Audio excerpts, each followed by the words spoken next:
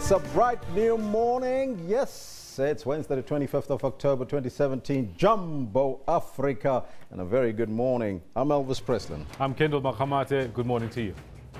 Now, we will be with you until 12. Now, remember, today we focus on crime. Now, the crime stats was released yesterday, which indicate that contact crimes such as murder and robbery have shown an upward trend, Kendall. I found very interesting at the same time as they were being released, we found out that the deputy police minister's nephew had just been stabbed, and that's why he wasn't at work. But I want to find out from you are the crime stats a true reflection of your experience? Yes, of course. We would like to get your experience in the country. There's uh, 149% in Kendall.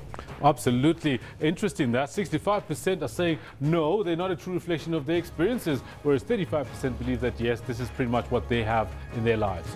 Yeah, but you're also uh, sending us tweets on uh, this one. Gadani says, um, just take a look at KZN, and that should give you a good indication of crime stats and how that reflect the experience of so many people in the country. Uh, Walter White says uh, these stats only reflect on reported cases. There are millions, millions of incidents that go unreported. And that is so true. There's a number of people that says petty crime. They don't report it anymore because nothing happens. And sometimes that. something like uh, domestic violence does not get reported. Mm -hmm. You know, so yes, it does happen that uh, maybe that's exactly what's going on. People so are not. We'd like to find out from you what you're telling us on the Twitter handle as well as on the Facebook page. But we're also asking you uh, a question this morning because we focus on the Finance Minister Malusi Gigaba. It's a big day for him. He will deliver his first, his maiden midterm budget policy statement, which we call the mini budget. Yeah, absolutely. It's happening this afternoon, later on today. But we want to find out from you what do you want the Minister of Finance to address in the mini budget? Let's take a look at what you're telling us. Uh, this one from Teboho says, put more money in higher education. Well, there you go. Fees must fall is on the table. Kataro says, I want to hear about SAA, Eskom, and SABC's bailouts. Remove unnecessary expenditure, especially VIP and luxury treatment for ministers. Corruption is the enemy of growth.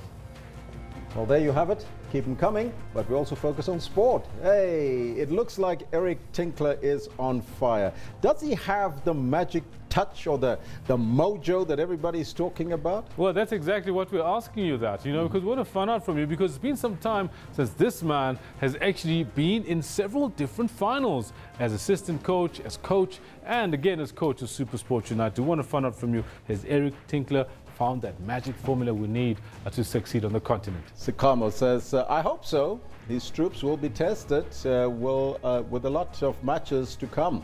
I hope that Supersport FC will win the cup. Michael Bigam sort of says, not really, up until he brings the okay, the CAF Confederation Cup home. But he inherited a very good squad from Stuart Baxter that can go all the way and all the best. Yeah, absolutely, Michael. He has inherited a good squad, but he's managed it well too. The credit where it's due definitely needs to be given. Well, there you have it. Let's get down to business now and take a look at your news headlines.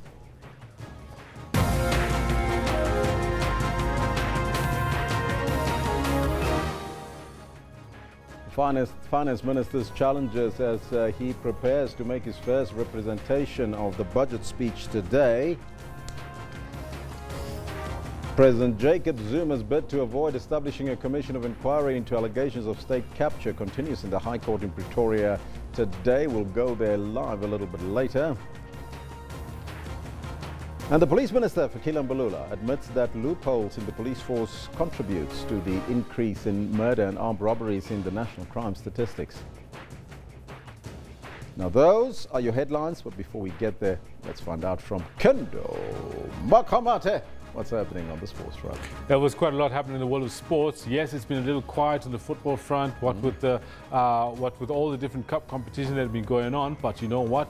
There's still enough going on. T20 coming up very soon. Good morning to you. This is what we have for you in the sports today. Did come as a surprise to me, but definitely um, I've been waiting for it for a long time and, and going to give it my best. 33-year-old Dolphins all-rounder Robbie Frylinck plans to make the most of his surprise call-up to the T20 side to play Bangladesh. We haven't won anything yet, as yet. And obviously I've experienced and I've tasted what it's like to get all the way there and lose it. And you don't want that. Seasoned campaigner Eric Tinkler offers some sage words of advice to his team ahead of the CAF Confederations Cup final against defending champions TP Mazembe.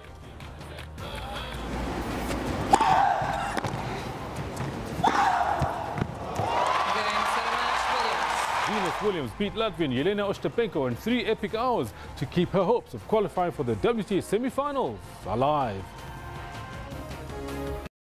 All this in more detail we'll have you around about 10.40. Do stay with Elvis as he's got the news. Thank you, Kendall. Top story this morning. Finance Minister Malusi Gigaba will deliver his first midterm budget policy statement today. The mini budget does not provide exact allocations, but it does set out government spending priorities for the next three years. Rating agencies will be paying close attention to the minister's speech. South Africa has already been downgraded to junk status, and they have warned government that they want to see policy that supports fiscal strength and stability. That is now the ratings agencies. Today's speech is expected to give direction on plans to deal with declining revenues and dysfunctional state owned enterprises. Now, we'll take a short break and we'll be right back after that. With the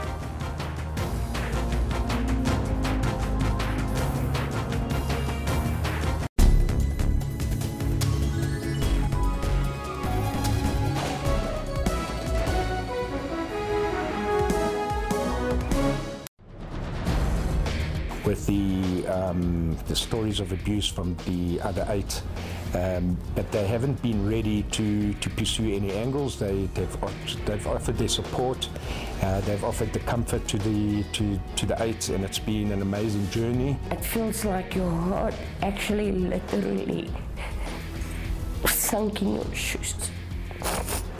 It wasn't a long encounter. Um, uh, I think at the time I, I froze. The way the criminal justice system deals with sexual violence is problematic. And I don't know, unless there's a fundamental change in many things, the way prosecutors deal with uh, the victim in the matter. For all investigative insights, stay tuned to Special Assignment every Saturday at 1730. Why is there a dispute over who is the rightful heir to the throne? What I can say is that uh, Masindi is a, is a woman. She's a girl. She's a girl child.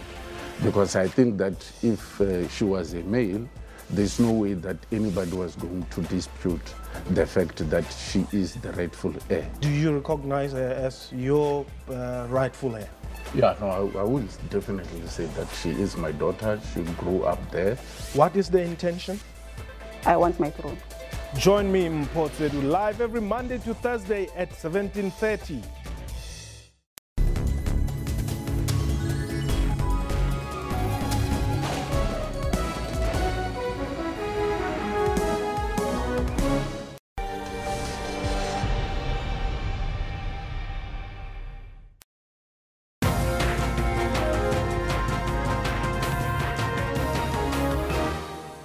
Now let's pick it up again. The Finance Minister Malusi Gigaba will deliver his first midterm budget policy statement today. Now the mini budget does not provide exact allocations, but it does set out government spending priorities for the next three years. Ratings agencies will be paying close attention to the minister's speech. South Africa has already been downgraded to junk status, and they have warned government that they want to see policy that supports fiscal strength and stability. Now, today's speech is expected to give direction on plans to deal with declining revenues and dysfunctional state owned enterprises. Meanwhile, experts say that government has limited options as it battles to lower the budget deficit, as some taxes may result in unintended, unintended rather, consequences. It's a big cloud hanging that gap needs to be closed. And unfortunately, you know, when you've got the economy that's just not growing, you know, at a fraction of a percent, we're certainly going to just see that gap widening even further. So we're not collecting enough revenue, um, even if you increase the taxes. You know, the, the, the, the, the fact of the matter is the contributions are still going to be significantly lower because the economy is not creating enough jobs for the people to be able to be, you know, to, to, to contribute into the fiscus. So that's the big challenge the minister will have to answer today. Um, you know, there's in a number of ways, uh, but it's not going to be a nice budget. It's not going to. It's going to be a painful one. Now, joining us now in Parliament is, uh, is Devon Murugan. Uh, he is uh, in Parliament. He joins us now in Cape Town ahead of the budget speech this afternoon. Devon, a very good morning to you and welcome. Uh, looking ahead to the Minister's speech today, expectations?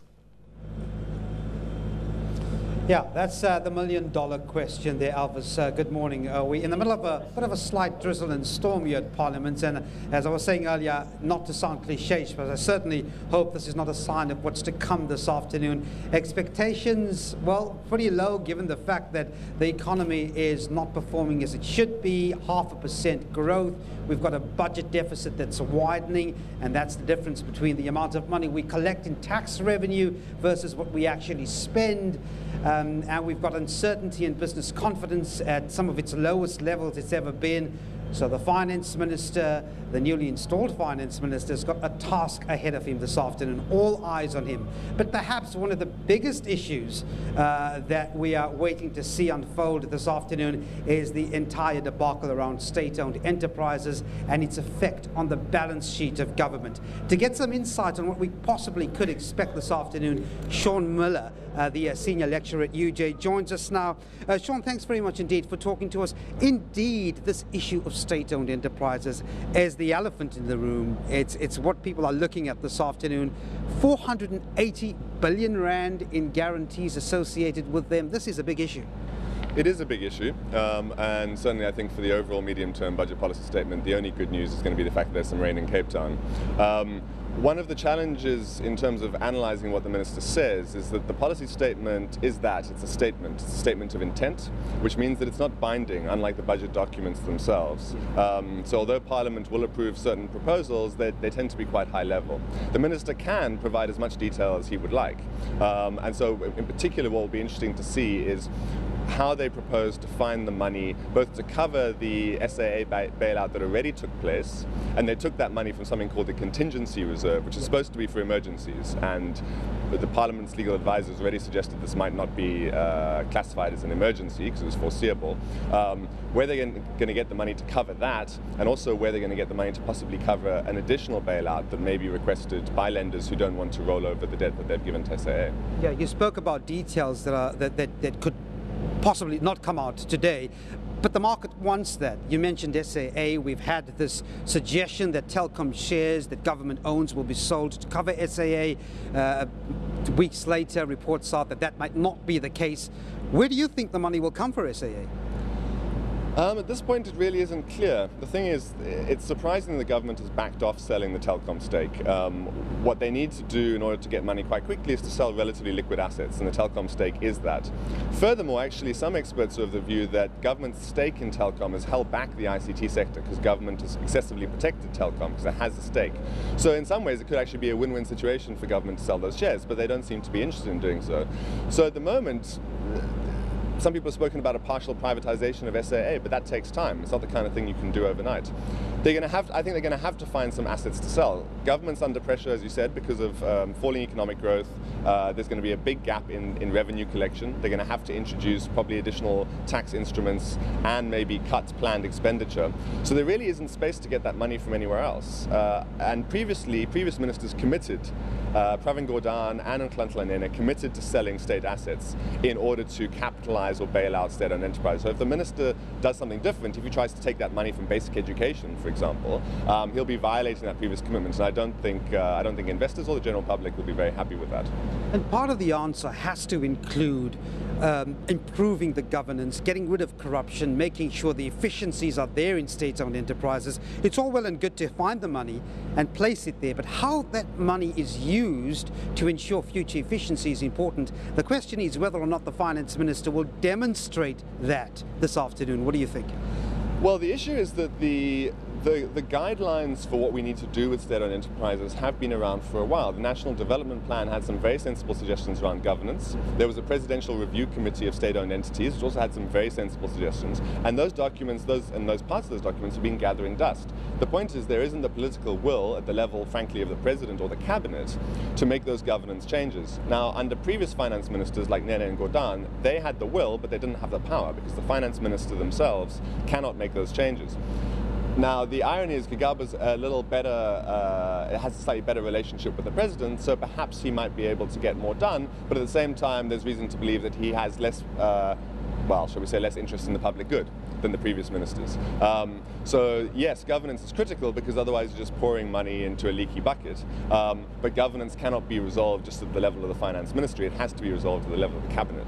Yeah, final question. Not only are you just pouring money out there, but you tend to not repair the trust that has certainly incurred a deficit over the past few months. It's been six months since the finance minister is in his position. What he chooses, the route he chooses on, on, on state owned enterprises and dealing with a budget deficit will, will work a long way to secure trust. It, it's trust that's missing here when it comes to confidence, isn't it? Yeah, absolutely. And I think what we saw with SAA is not just about the financial losses they're making, but when lenders just don't want to roll over their debt you have a big problem. And all our state-owned enterprises are heavily reliant on private debt, whether or not it's guaranteed by government. So if the trust fails, they're not going to, they'll either call in debt that they're able to call in or simply not roll it over when it comes up for renewal.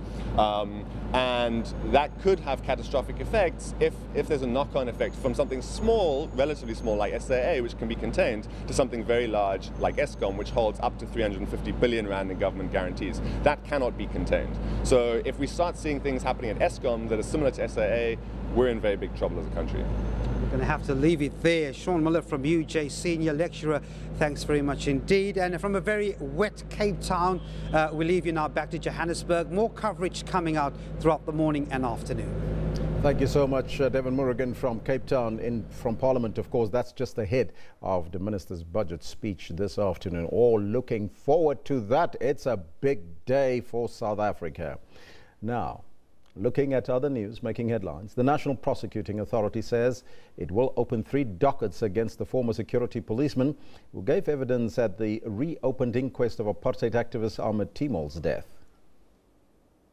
Now, they all face charges uh, of perjury, while the former Sergeant Jan Rodrigues will also face a charge of being an accessory uh, accessory rather. Earlier this month, the Pretoria High Court uh, Judge Billy Mothle uh, overturned a 1972 ruling that Timol had committed suicide by jumping off the 10th floor of what was then known as the John Vorster Police Station, finding that security police had murdered Timol. The case was reopened after new evidence was discovered. President Jacob Zuma's lawyers have strongly attacked the state of capture report by the former public protector Thuli Madonsela, uh, saying it's uh, only based on allegations and suspicion with no factual findings.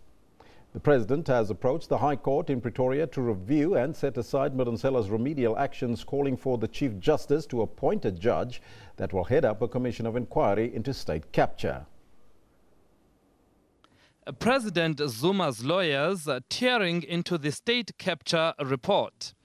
They want the recommended remedial actions declared unconstitutional as only the president has the power to appoint a commission of inquiry. Along with this, the president wants the report sent back to the public protector's office for further investigation here, the argument is that the report did not make any factual findings of wrongdoing by anyone, it's only suspicion. She can't report on suspicions or she can't report on allegations. She must investigate those. And having investigated them, she must then make a finding. Because what are you remedying if you haven't made a finding of impropriety? The public protector's legal team, however, argued that Madonsela could not make conclusive findings due to a lack of capacity, but this does not take away from her remedial actions. She did not have the necessary resources, the necessary capacity, and the necessary funds to make conclusive findings of fact. Also in court, the EFF arguing that the president cannot be given free rein in exercising his responsibility to appoint a commission of inquiry when he may be implicated.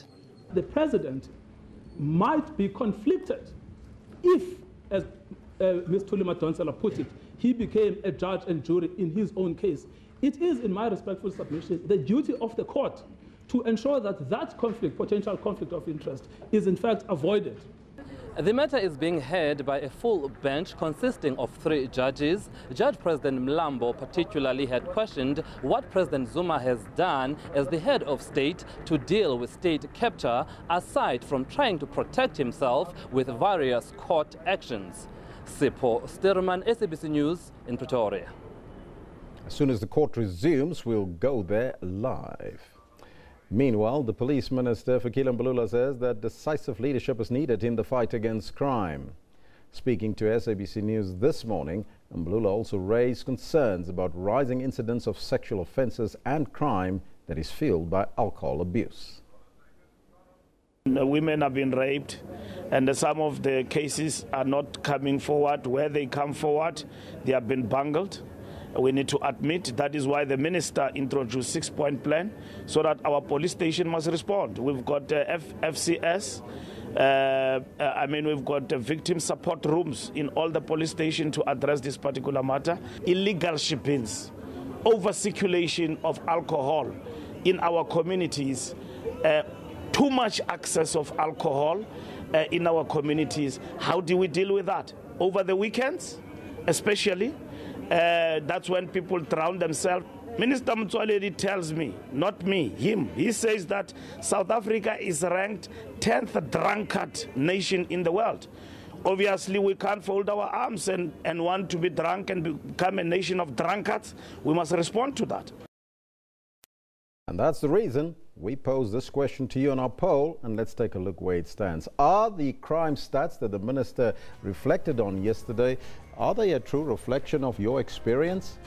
Well, so far 158 votes in. I would like to get your experience, your personal experience, right, from wherever you live in this country. So, so far, 66% of you are saying that the crime stats does not reflect the true reflection. Somebody said earlier uh, that uh, most of the crimes are not reported.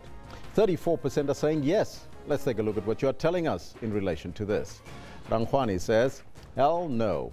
Let me just say, I hate the SAPS and the NPA. They are worse than the criminals that rob, rape, and kill us. They are useless.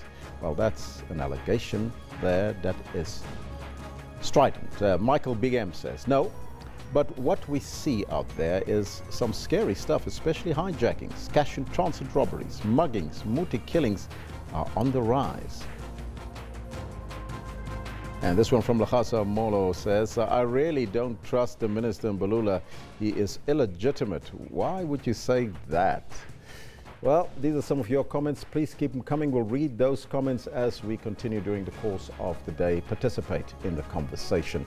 It is a true reflection uh, of what is currently happening in our country. Uh, yes, it, uh, crime is increasing, they say. Now, memorial service of late National Health Department spokesperson Joe Maila takes place in Polokwane today. The service is open to the public. Maila allegedly accidentally shot himself at a shooting range last Thursday. At the time of his death, he worked closely with the Health Minister Aaron Motsoaledi. Maila served as a spokesperson for the Ministry of Health since May 2012. The minister said his spokesperson was a hard worker Parliament's Health Portfolio Committee also lauded Maila for his work, describing him as a true professional who had good working relations with the committee and everyone in the department and the media. His funeral will take place uh, this coming Saturday, October the 28th, at Potter's House Church in Ivy Park in Polokwane.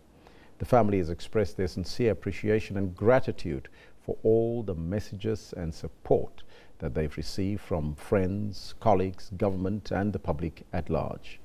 Maila is survived by his mother, wife, and two children.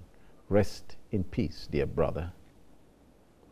Well, there you have it. Let's now take a look at uh, our social trends and what's happening on social media. We start off with hashtag crime stats. There you have it. We talked about the increase in crime and look at the numbers as you can see them there.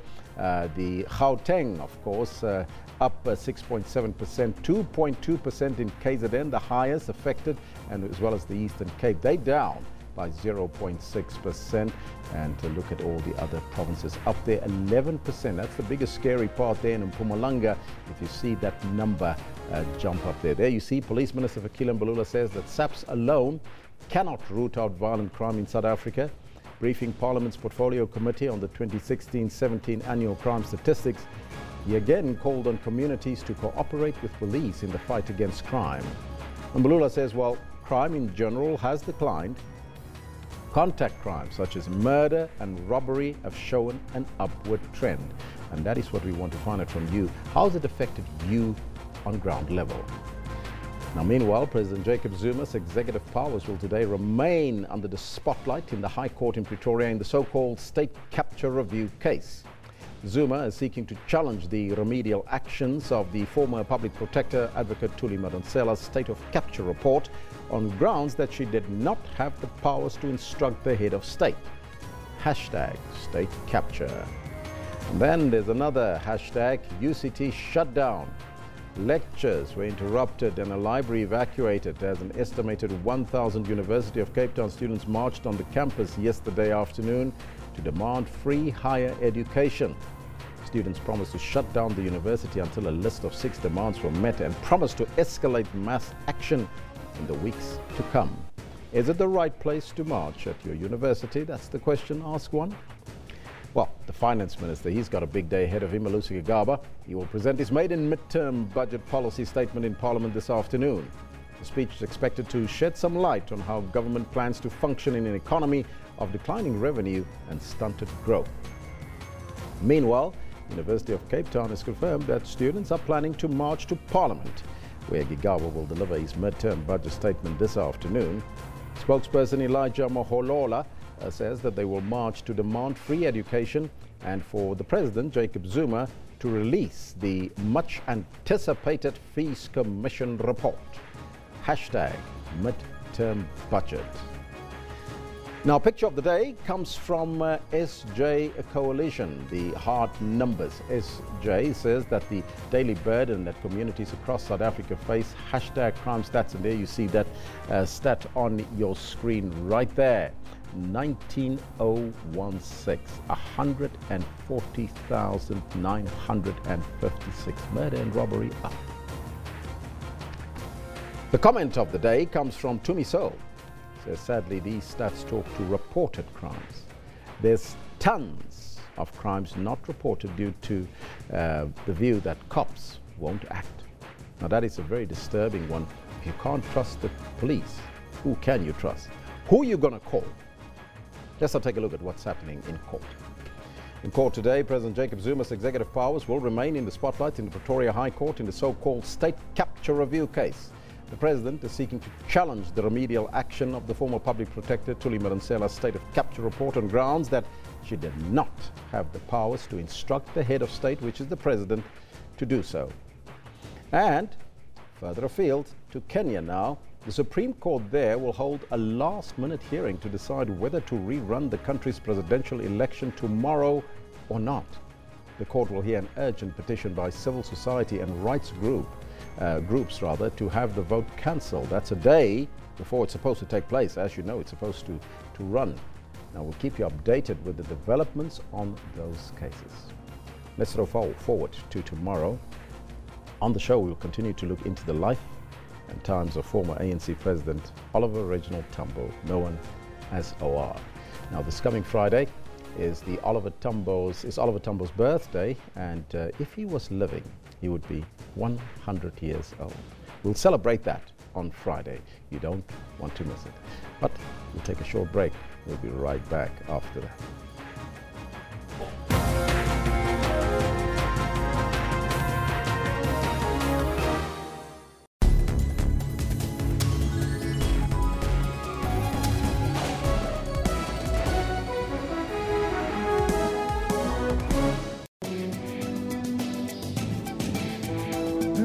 That the former minister is now endorsing Ramaphosa as the next president. Hmm. Campaign time, Prof. Yeah. So early. Let, us um, at least uh, accept uh, that people have a right uh, to expressing themselves in terms of uh, who they support. But what is lacking very seriously is that there is no that leadership uh, role that is played by the leadership to say we haven't opened succession and let us deal with those that are campaigning openly because we haven't opened it as the leadership of the ANC. What we need in this country is that the, we need a ruling party or a leading party to be able to engage with issues that affect the people. Our people campaign openly. It weakens the, the, the organization. In fact, it makes the, the policies of the ANC even more popular. Stay tuned to Media Monitor and catch on analysts unpacking top stories every Sunday from 9 a.m.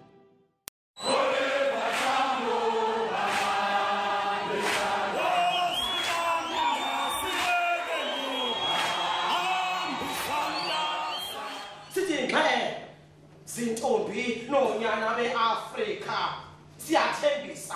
Sawuzama ukuzikhumbula sizikhumbulise imfundiso zenu.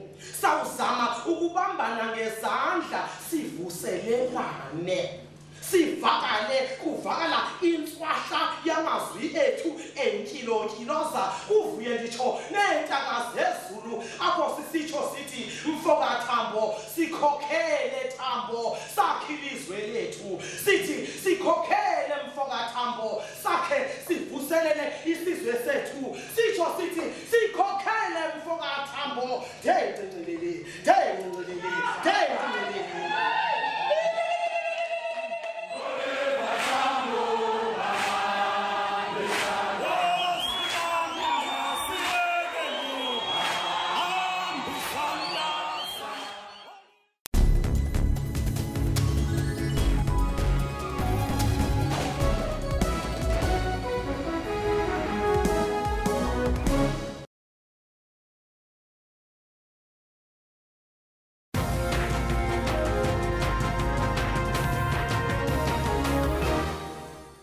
Zolile Ngcakani, MK veteran and the former Inspector General of Intelligence, began his career as a political activist and a member of the African National Congress in 1958 at the University of Fort Hare. Now, while studying at Fort Hare, he was directed by the ANC to go into exile to pursue further studies and undertake military, military training, where he met O.R. Tambo in Tanzania. He subsequently went to Lusaka, where he held various positions, uh, various positions rather, and worked alongside OR. Now, for more on this, we're joined in our Pretoria studios by uh, Zolile Ngcakani. A very good morning to you, sir, and welcome. Good morning, and thanks to your listeners. First and foremostly, I want you to reflect back to those many years when you went into exile and spent some time with O.R. Tambo. Tell us more about your journey and when you first met him. Yes, I left South Africa in 1962. We left for the Soviet Union then to do undertake f- studies. We studied. I studied for chemical engineering. Uh, completing my studies, I went for military training, and after that, was deployed in Tanzania at Kongwa Camp. From Kongwa Camp in Tanzania, I then went to Lusaka, the headquarters of MK. And there I had the privilege to work under O.R. Tambo. Now, this was really a privilege to me because O.R. Tambo was a very learned person, but he was an all rounded human being. Around him, you felt comfortable. He was not intimidating. And I think his background in teaching helped him also pass on his knowledge, his vast knowledge, to, to you as you worked with him. He was a very humble man, but he was a man who was able to, I believe, get the best out of you. He was a very respected leader. As I said, an all rounded person mm-hmm. who was firm but really was gentle and very considerate in the way. Yeah. Some would say that he was firm and fair, but they also said, and of course we had a number of interviews during the course of the, of the week, that he was a workaholic. He worked seven days a week. What would you say to us about his work ethic and how it influenced you? Oh, he was a very hard worker. Uh, and I think, you know, on his shoulders, as everybody will tell you, that OR is the one who kept the ANC together under very difficult uh, conditions. And therefore, I think his hard work paid off because we also felt that we had to do likewise. We couldn't, you know, slack because the task was very difficult. Remember in those days, uh, whilst in, in Lusaka, uh, Southern Rhodesia was not free. Uh, so to accomplish sending back trained uh, MK cadres to South Africa was a huge task. Mm -hmm. Even inside the country at th that time, after the internal leadership had been arrested, they, it was difficult sending someone to South Africa when you didn't have any people to receive them. So we had actually to start from scratch. And OR had to make sure that he mobilizes uh, international support for the efforts that we are doing, both in terms of hardware as well as making an understanding of what, where the ANC stands. In Africa, a lot of work had to, to be done because the ANC sometimes was not understood because the Africanist, Pan-Africanist view was more receptive to them. So it was hard work eh, to convince the uh, African leadership that ANC had a role to play in the liberation of South African struggle. Mm -hmm. Now, during the liberation struggle, it wasn't all plain sailing because I want to take you back to the Morogoro conference in 1958, or 59 rather, where the leadership of OR was, uh, was questioned, so to speak. But can you reflect on that situation at that point in time? Uh, I wouldn't say that the leadership of OR was questioned. As I said, at that time we were passing through, it was a very hard phase. Mm. Um, the memorandum that was put out by uh, a number of our ANC cadres returning from prison in, in Botswana raised very pertinent issues about the direction in which we were going, also about the culture that had what that was at the time afflict, afflicting the ANC. And therefore, OR played a very prominent role in ensuring that there was overall consultation, not consultation not only in the African theater, but also of all ANC members and cadres who were scattered all over the world.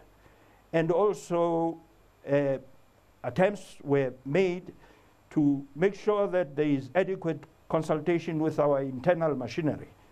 So the Morogoro conference, remember, couldn't represent all the people of South Africa. We had only the MK cadres who were outside there, and some of the ANC entities that were spread all over the world. And yet we had to go to a conference in which momentous decisions were going to be made. It was an elective conference. And OR, you know, going to the camps to listen to what the cadres there were complaining about, but also what contribution they wanted what direction they wanted the organization to take. He, you, and, and they were, they were talking to him, and he was listening to them, and there were no holds barred. All uh, issues were on the table, and OR had to go through that. Mm -hmm. At the conference itself, what, what, what happened is that after the, the, as the program went and it reached the situation, uh, the, the stage where elections had to take place, OR himself indicated that he was not available for election. Wow, you should have seen what impact that had on us. who were we, a small group, to, to change, you know, what the people of South Africa had, had done. It was a very difficult thing to do. Mhm. But our elders who were there, Uncle J.B. Marks, um, Moses Kotane, Abida, they went and talked to him. And he came back and stood for elections. And he was elected unanimously. Mhm. So it was not a question of questioning OR's leadership. Yes. It was a question of making sure that some of the changes that the cadres wanted, for instance, we wanted the ANC now to open up its membership to all South Africans, not only to uh, Africans, black Africans, but also to the colored organizations, the Indians, the white, could become full members of the ANC, so that the ANC, in representing the alliance, could, could do so effectively and the membership could participate in the affairs of the organization inside. And What- also the strategy and tactics of the way forward was also mapped out. And then finally, sir, do you think that that was his dream to see a united South Africa? And of course, how should South Africans in general remember O.R. Tambo? Yes, I think OR wanted to see a united South Africa. And I think where he is, it's appropriate that in celebrating his 100th year anniversary, we should heed his call. You know, the call that I think today OR would have made to all of us would go something like all of us should make the RSA eminently governable. That it is a task for all of us to make the RSA eminently governed for achieving, or the purpose for achieving sustainable socio-economic liberation for all in our life, lifetime. I am sure he would indicate that it is urgent that that task should be made and fulfilled, and it should be carried by all of us. My good sir, I thank you so much for being with us today and giving us your message to South Africans. Thank you. That was Zolile Ngcakani. He is an MK veteran and a former Inspector General of Intelligence reflecting on the life and times of Oliver Tambo, Oliver Reginald Tambo, OR. It's the entire week. We're building up towards the celebrations on Friday. You don't want to miss it. Let's now take a look at the front pages from the newspapers from around the globe. And we start off in the Big Apple in New York, in the US. The Wall Street Journal reports that fault lines within the Republican Party cracked further as feuding between President Donald Trump and senators intensified within the US Capitol. Well, was that expected or not? Moving to Europe, the Times says that blood thinning drugs takes to, taken to prevent strokes may dramatically reduce the risk of dementia. That is what a study found. And there's also Heathrow runaway, uh, runway doubt after new data revealed. That's on the front page there. And then finally, in Australia, The Age reports that a 43 year old disability pensioner from Melbourne, after outer suburbs, is suspected of funneling cash to the uh, American born senior Islamic State fighter. Well, those are your newspapers from around the globe. Now, before we take a break, let me ask you that question again. Remind you of that question that we posed to you this morning.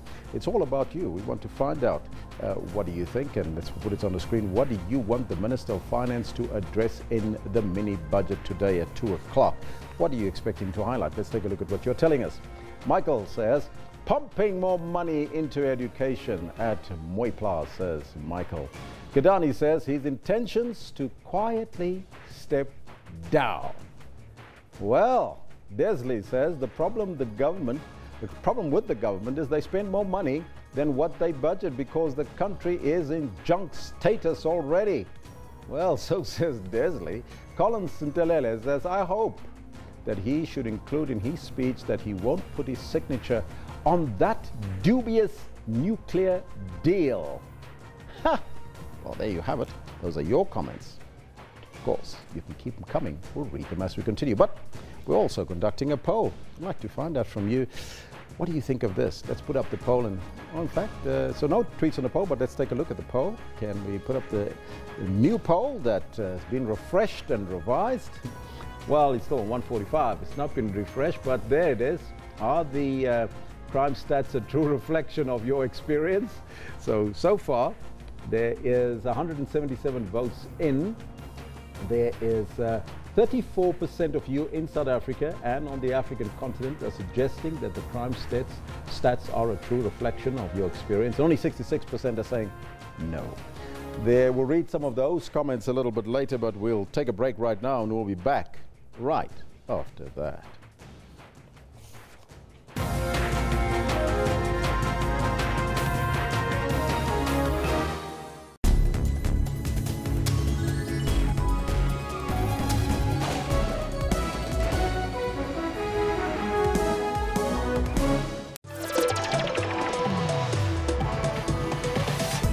Top five rated horse racing event in the world, fashion is a highlight for those in attendance. All decked out in blue and white, the L'Ormarins Queen Plate is the premier event that kicked off everyone's social calendar. That it was all part of my master plan to cast John Legend, but deprive him of his normal instrument and give that one to Ryan. The House of Truth is not just a name. It is a religion. It is a lifestyle. It is a conviction that drives us. What really excites me is how people have kept it very simple and also played with the theme and how each person has interpreted it in their own way. To stay updated with all the current entertainment news, tune into Trends every Saturday from 12 to 1.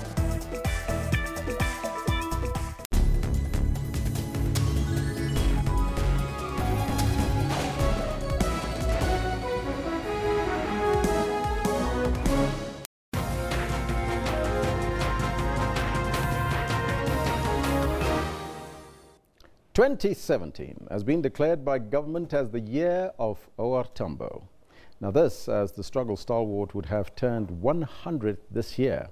We spoke to ANC Deputy Secretary General Jesse Duarte, who worked in Tambo's office in Lusaka in Zambia.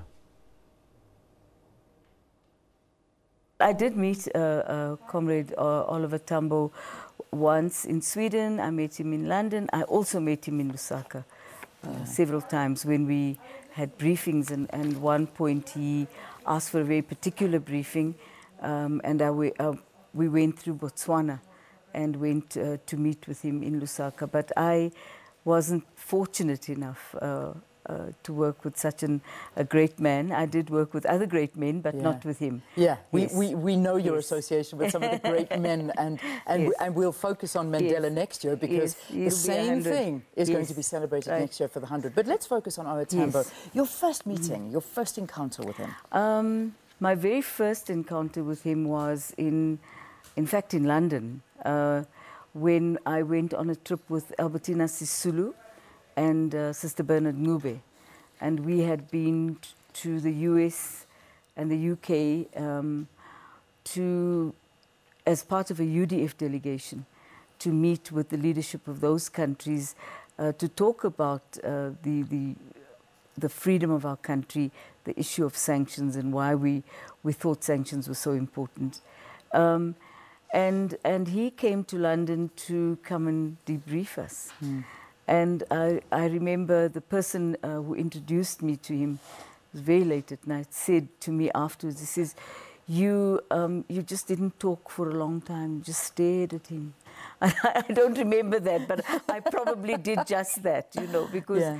every song we sang here in the country was about him. Yeah. Every um, he was he was really the the struggle and the inspiration of our struggle. At home. Amazing. You know, um, because I, I truly a great man. I mean, you, Uh, you oh. say inspiring. Mm. Obviously, that was the key to his leadership as well. Yes, Because if you had to describe him as a leader, and what I'm gathering from you, and you know, when you when you're awestruck by somebody, Yes, you just yes, stare at them. yes, absolutely. They inspire people. Yes, he did. And I think uh, Albie, um, Justice Albie Sachs puts it so beautifully.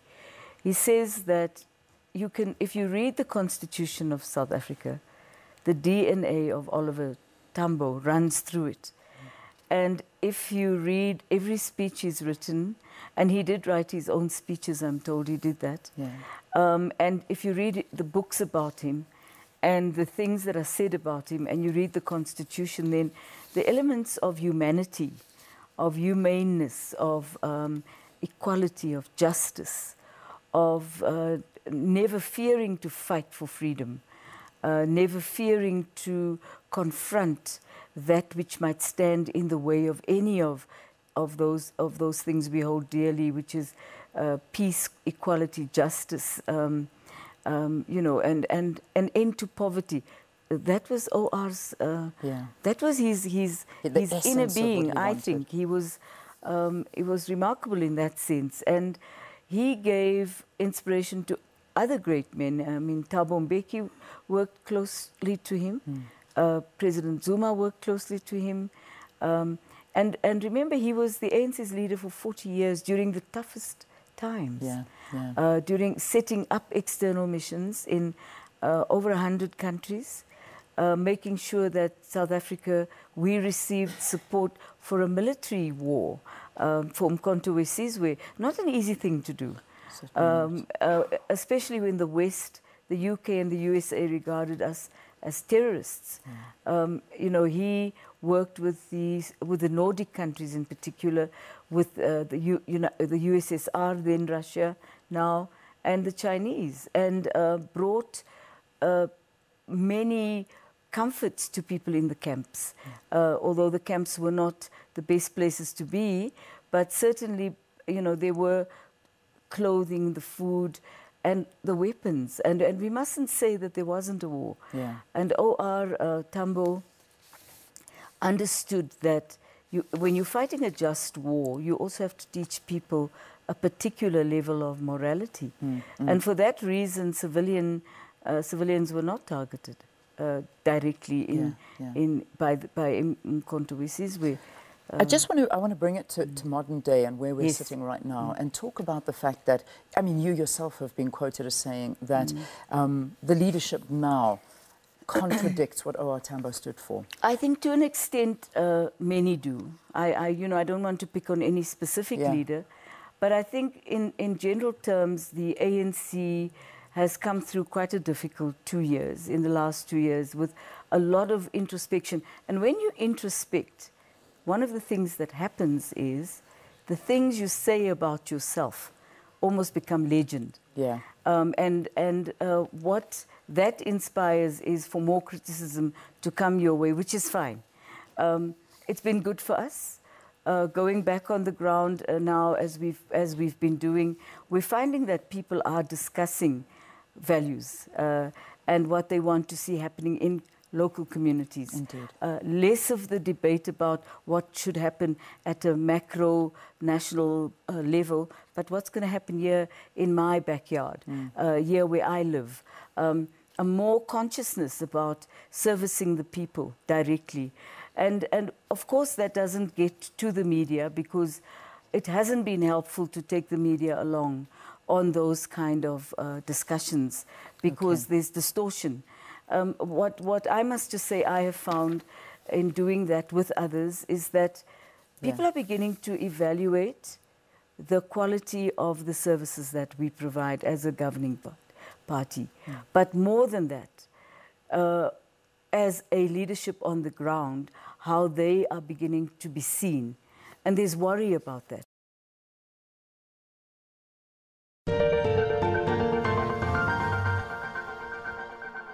Thank you very much. Let's take a look at what's happening in terms of your weather for today. We're going to take a look first of all at the uh, southern parts of South Africa. Here we're seeing a cold front moving through the area and Of course, what this means for today is a little bit of rainfall, cooler conditions, and of course, that wet weather is going to be very warmly welcomed by Cape Town and surrounding areas. Definitely needed there. Now, we're also seeing afternoon showers and thunder showers forecast for the eastern parts of the country, extending through into parts of Botswana, into parts of Namibia and Angola as well. Uh, of course, as we move through into tomorrow, this is going to uh, change. We're going to see that low pressure moving off towards the east. That's going to draw in the slightly heavier rainfall towards South Africa's eastern regions and extending into parts of the high Highveld as well. Once again, we see those isolated showers moving through in towards Angola stronger showers forecast for Central Africa. Let's take a look in a little bit more detail what's happening now. Cape Town's at 18 degrees Celsius. We've already seen quite a bit of precipitation in Cape Town and we're due to see even more today. Now we are seeing cloudy conditions in the area as well. Temperatures are going to remain very warm in the interior, in the 30s for the most part, or at least the higher 20s. Taking a look now a little bit further north at our neighboring states, uh, capital cities uh, around the area, well, they're peaking warm. Windhoek 31 degrees. Temperatures in Gaborone 37, Harare 32, and Maputo peaks at 39 degrees Celsius. Now, some very, very hot conditions on continental Africa. Let's see what's happening in the island regions. Well, stable conditions here 26 to 33 degree maximums. No uh, rainfall forecast at the moment, just cloud cover. What we are seeing, though, are those warm conditions warming up even more into the Central African region. Now, there's a lot more cloud cover here, of course, but what we are seeing here are conditions around 32 degrees in Kinshasa and Lilongwe. As we move around towards Dar es Salaam, we see some showers coming in, and the rainfall continues all the way as far north as Bangui and uh, of course, you can see that rainfall extending towards West Africa's southern coastline as well. Ghana, Cote d'Ivoire, surrounding areas are expecting isolated showers for today. That extends through in towards Somalia. Some uh, rainfall forecast for the western parts of Somalia there. And the northern coastline, uh, especially around Libya, receiving some showers both today and tomorrow but uh, yes, mostly concentrated around the coast. Not penetrating very far south at all there. Showers continue towards West Africa's southern coastline there. And of course, we see that continuing in terms of the sunshine as well. Let's take a look at that. Khartoum sunny again, 39 degrees Celsius. Temperatures in Mecca at 37, Jerusalem 25, and Cairo at 31. Tripoli's also at 31, but today might just see some showers coming through the area. So only isolated showers, not particularly strong there. Very similar forecast for Abidjan and Lagos on the uh, southern coastline there of West Africa. Uh, of course, these areas do expect some thunderstorms, so it is going to be a little bit different, but nonetheless, we're going to see some precipitation in the area, drier towards Bamako, Dakar, expecting warm temperatures with Bamako at 38 degrees and Niamey at 40. This, of course, is where we're going to leave your weather for now. Stay with us here on SABC.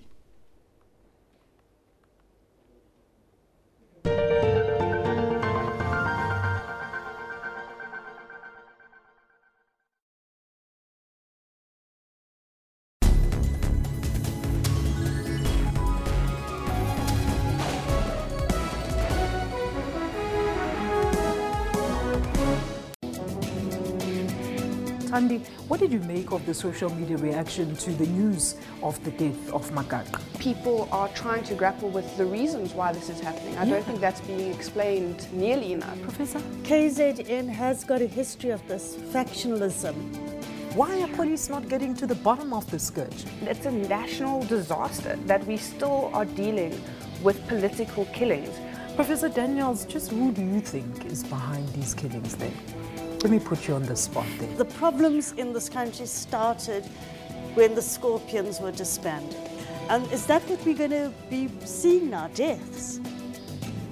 Deaths, smear campaigns, and stuff like that. It's got to stop. Stay tuned to Media Monitor and catch on analysts unpacking top stories every Sunday from 9 a.m.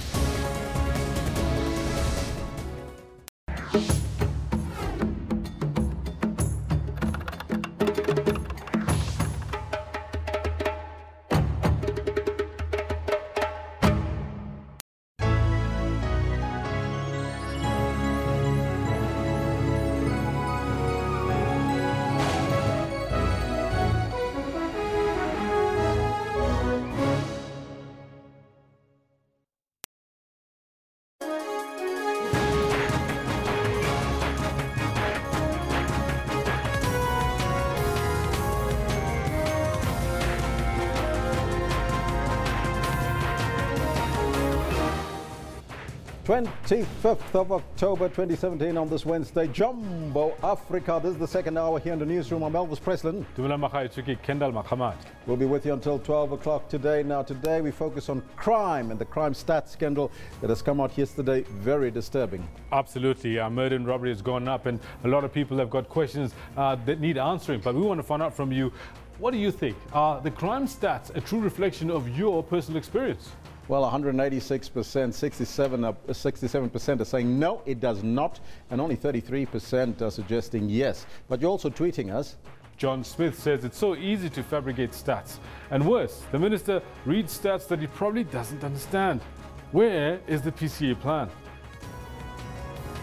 Desley says, let's, uh, let us all work together, the police and the community. We can win. Now, that is a good suggestion, Leslie, because it's always been there. We have community forums, police forums, and mm. we need to work together with the police. It's not just the police. You need to work together with your police in order to sort out your area. But mm. we're also focusing on the finance minister. It's a big day for the finance minister. It's the mini budget today, Kendall. His first, his maiden budget. And let's hope that uh, we hear everything that we want to hear from him, but we want to find out from you, what is it that you want the Minister of Finance to address in his mini budget. Let's take a look at what you're telling us. Collins uh, says, I hope that he should include in his speech that he won't put his signature on the dubious nuclear deal. Oh, yes. And John Smith says he must start a CIP department, analyze where he can improve and save costs on the current government projects, spend money to save money. Those are some of your comments. Please keep them coming. Uh, we also have a sporting question for you. Eric Tinkler, he, uh, does he have the mojo? Absolutely. Want to find out, has he found that formula to succeed on the continent? He's about to go into his fourth uh, fourth uh, African final. This after his assistant coach uh, and coach to Pirates. Now, EFF 2019 mission says, I think so because he's been there for several times. He knows what to expect when you go out there, and his experience speaks for itself. There you go. It's actually going to be his third final. This one from Olomisa says he's on the right direction. We must just wait and see. Well, there you have it. Those are some of your comments. Please keep them coming. We'll read them as we continue. But right now, let's get down to business and take a look at your news headlines.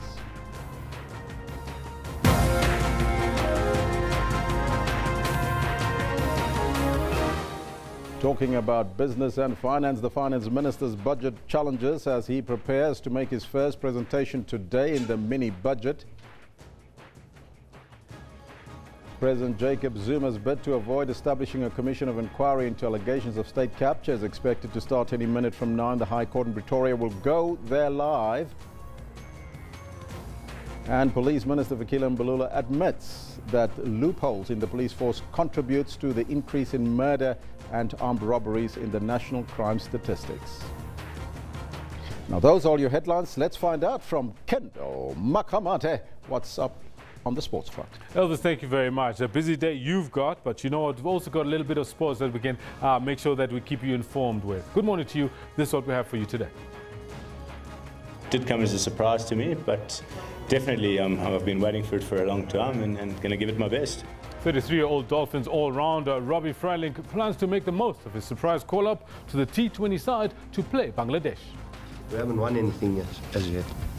And obviously, I've experienced and I've tasted what it's like to get all the way there and lose it. And you don't want that. Season campaigner Eric Tinkler offers some sage words of advice to his team ahead of the CAF Confederations Cup final against defending champions TP Mazembe.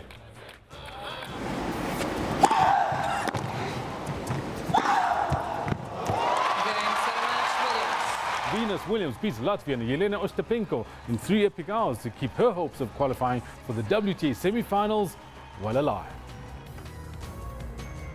In more detail, we'll have all of this, but do stay with Elvis as he's got more riveting news for you. Thank you, Kendall. Top story this hour.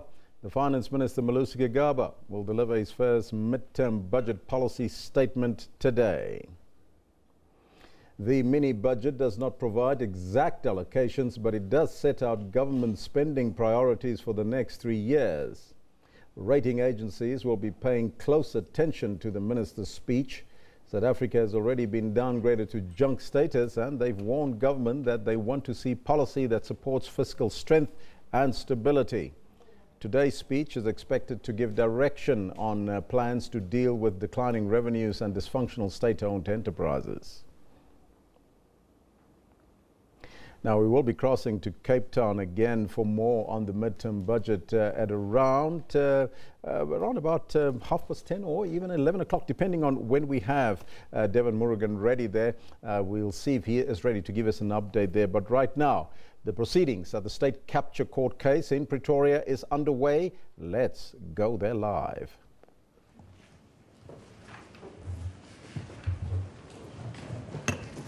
And uh, I want to read there against the letter from 10 to 16. This is President Zuma uh, replying to uh, Advocate Madonsela.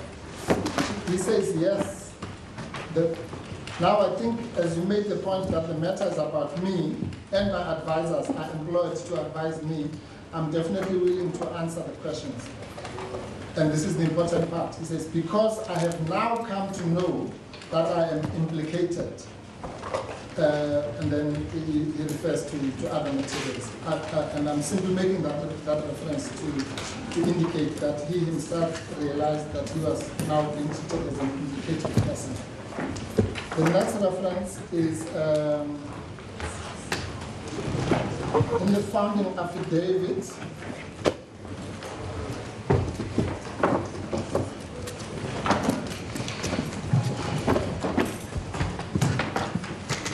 in the pleadings five.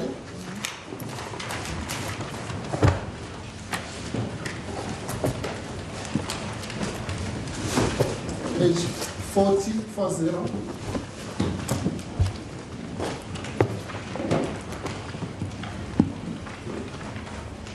Paragraph 60 of the founding affidavit. This is the, the affidavit of President Zuma, where he says, the purpose of the remedial action was to ensure that I am not the judge and jury in my own case, as determined by the public protector and provided in paragraph 8.3 of the remedial action. Following the remedial action, I would indeed be acting as judge and jury in my own cause. Supposed to be cause, I'm sure, uh, misprint. Since the Commission of Inquiry would be reporting to me for my action or inaction on its recommendation. Again, uh, I will make, I'm just referring the court to that without making any, any motivational uh, argument.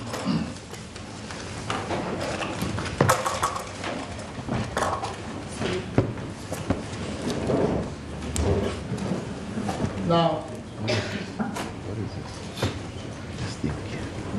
going back to the issues of the of the, of the powers, I, I established yesterday with respect, uh, uh, and I won't retraverse that ground, that we all accept. In fact, that's exactly where we started. The judge president uh, made the remark to Mr. Semenya correctly that nobody in this room uh, questions the fact that the president has the power to appoint, which is uh, quite so.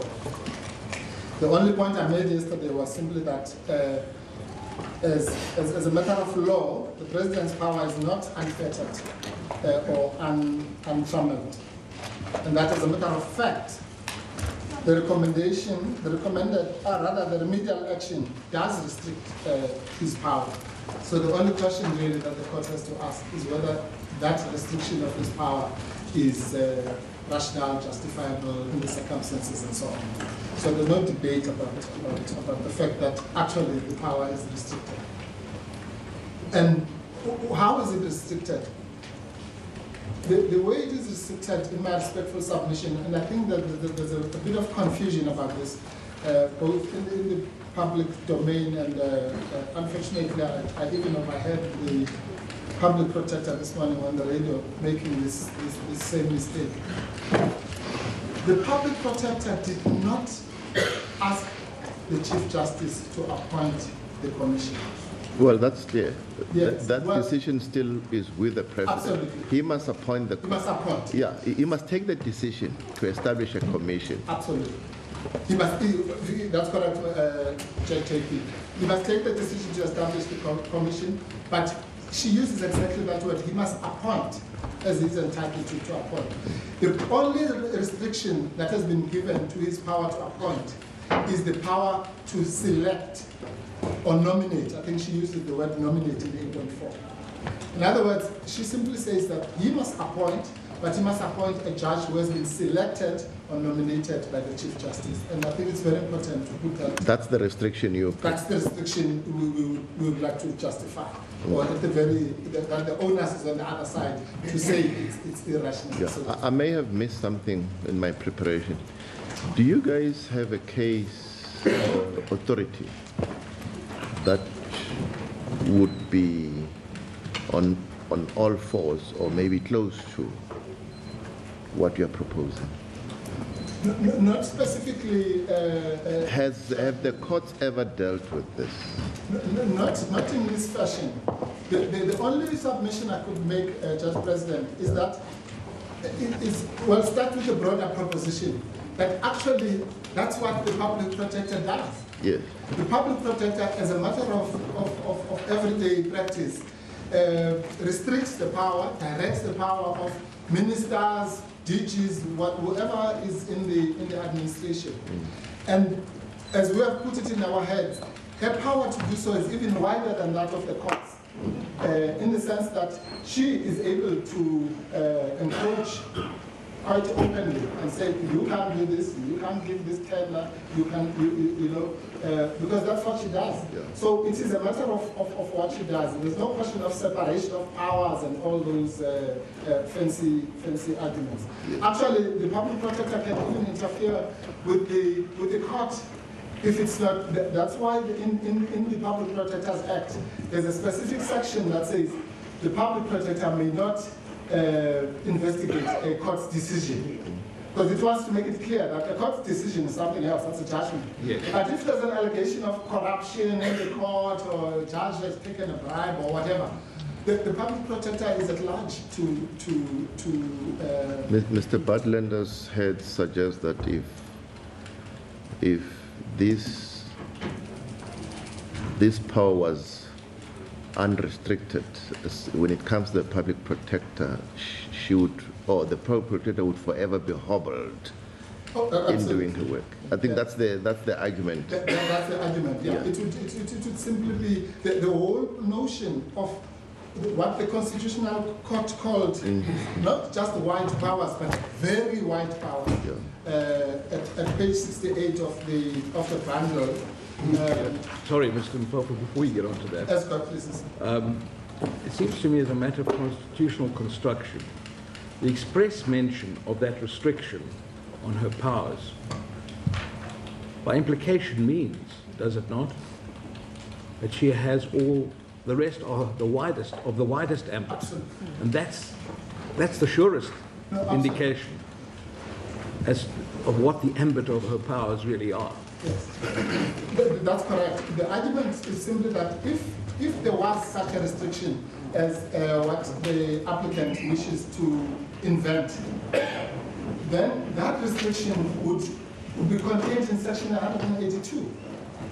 In section 182 would said, would have said, uh, the public protector has the power to, uh, when there are allegations, to investigate them, Yes. to uh, report on them, Right. and only when she has made a finding, then she must uh, issue remedial action.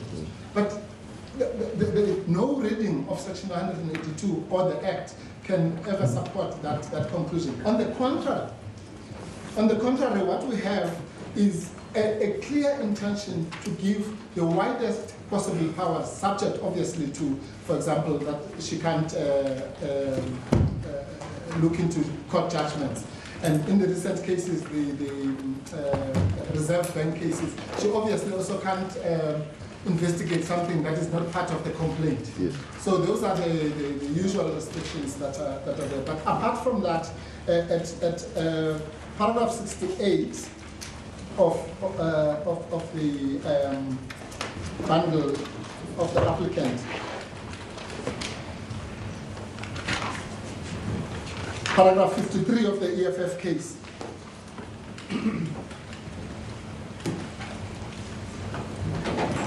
The Constitutional Court says hers are indeed very wide powers. not just wide as if wide is not enough. Very wide powers that leave no level of government power about, above scrutiny, uh, coincidental embarrassment, and censure. This is a necessary service because state resources belong to the public, as does state power. And then it says the repositories of these resources and power are to use them on behalf and for the, the benefit of the public. And then uh, a, a, point that emphasizes the, the point I made yesterday.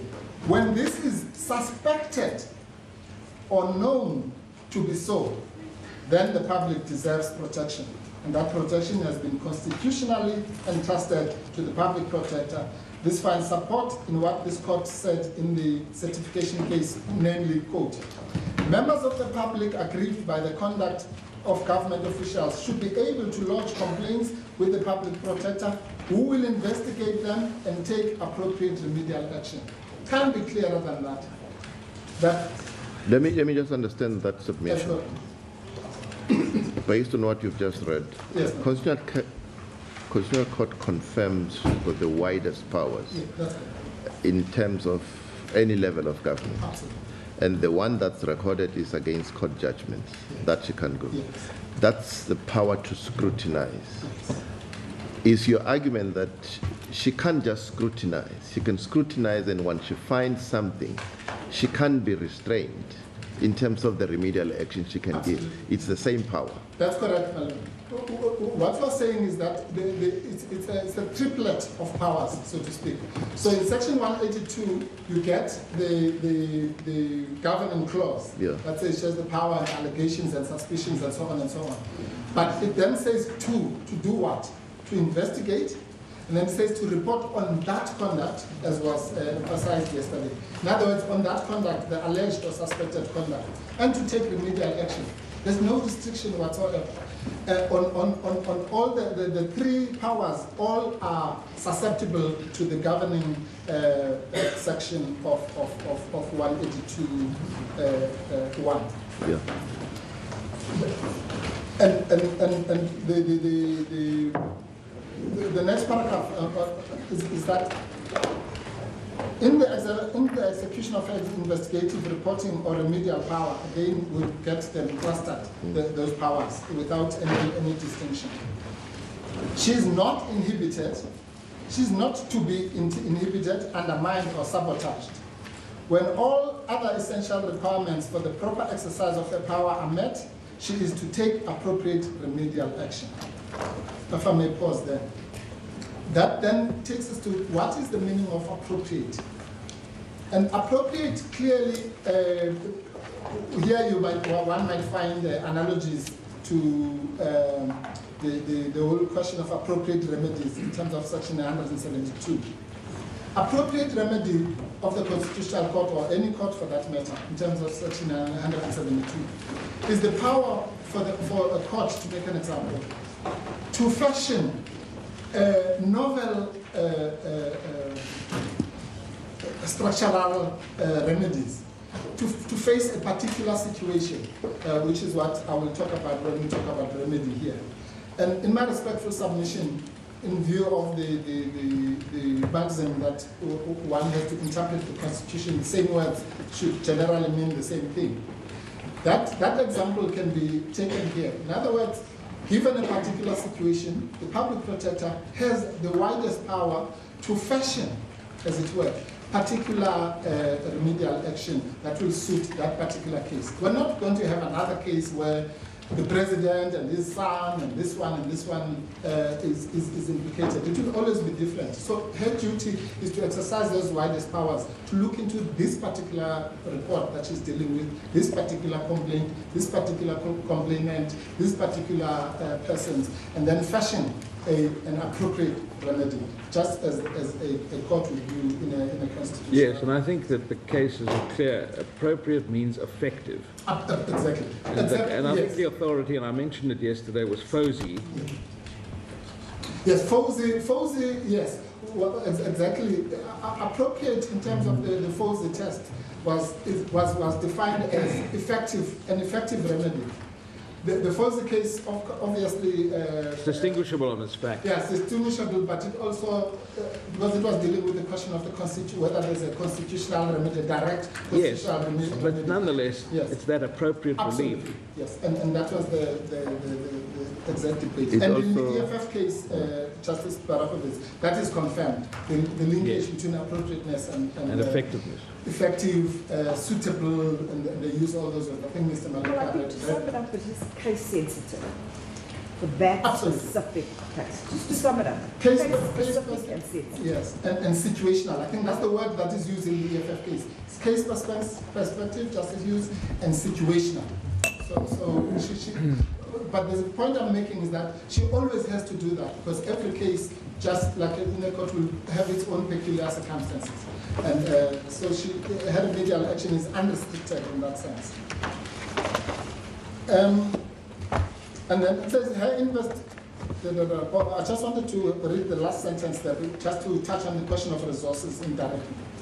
Uh, it says, within the context of breathing life into the remedial powers of the public protector, she must have the resources and capacities necessary for effectively to effectively execute her mandate, so that she can indeed strengthen our constitutional democracy. So her first uh, uh, basis for taking this particular remedial action is has constitutional approval at least the question of resources just standing alone forget about conflict of interest and all that the, the, the question of, of, of, of, of, of resources it's, itself is mentioned by the constitutional court as, as a tool uh, a necessary tool so on what basis could it be said that when she says i don't have resources as the constitutional court uh, has said that now suddenly that's an irrational basis that she has uh, dreamt up now, and then it says her investigative powers are not supposed to bow down to anybody, not even at the door of the highest chambers of raw state power. The predicament, though, is that mere allegations and investigation of improper and or corrupt conduct against all, especially powerful public office bearers, are generally bound to attract a very unfriendly re- response. And then it goes on about how, how uh, you know, resistance naturally will, will, will follow from those who hold power. And then the last uh, uh, sentence there, if compliance with remedial action, I'm, I'm at 56 now, if compliance with remedial action taken were optional, then very few culprits, if any at all, would allow it to have any effect. So we're back to the question of effectiveness. So, in, in, in short, the, the, the, the restriction, uh, the admitted restriction of her powers to select in this particular case are fully, fully uh, justified.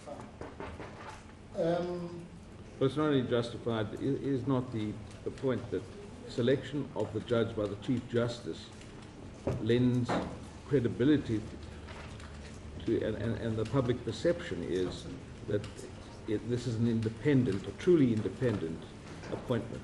Absolutely. And, and that's, a, that's a very powerful and, and separate point which needs, really needs to be emphasized. That what is being vindicated here are the rights of the public to have a credible process. Whether the president selects the most angelic of judges, uh, it doesn't matter. The point of the matter is not about the judge. This, and, and there's some suggestion from our learned colleagues that we are suggesting that there are judges who are, who are going to be good and others are going to be bad. That's, that's, that's not the point. Actually, it's the exact opposite point that needs to be emphasized. What they are doing is to impugn the credibility of the Chief Justice. Because the Chief Justice must be assumed that, it must be assumed that he will select any judge, and any judge can do this. But the point uh, which, which links to, to, to the point you're, you're, you're, you're posing to me, Justice Parapet, is that uh, that selection must then vindicate the public's right, and the public must be able to say, and as I said yesterday, even if that judge will exonerate uh, the president, in fact, even more importantly, if, if he's exonerated, then the public must say, yes, we're happy that he was not captured because uh, the, the, the, the, selection was made uh, above board and in accordance with appropriate remedial action. Uh, now, I just want to make this point. Also to emphasize that actually what, what, what, what the public protector has proposed is not even novel in that sense. The, the power to select and the power to appoint are not inseparable. We have many examples by the president himself. We have many examples, and I'll just cite two. When the president uh, uh, appoints the boards of ICASA or the SABC and so on, the power to select those people is uh, rests in parliament. That, that, that, goes back to the question that the JP asked me, where I said there's no specific um, uh, authority that we found, but there are many live examples of where this happens. When that happens, the, the president uh, appoints the, the persons who, for various good reasons, uh, uh, to do with public independence and all that, are then are selected by somebody else. When, when the JSC, the Judicial Services Commission, uh, nominates uh, judges, the president appoints uh, that person.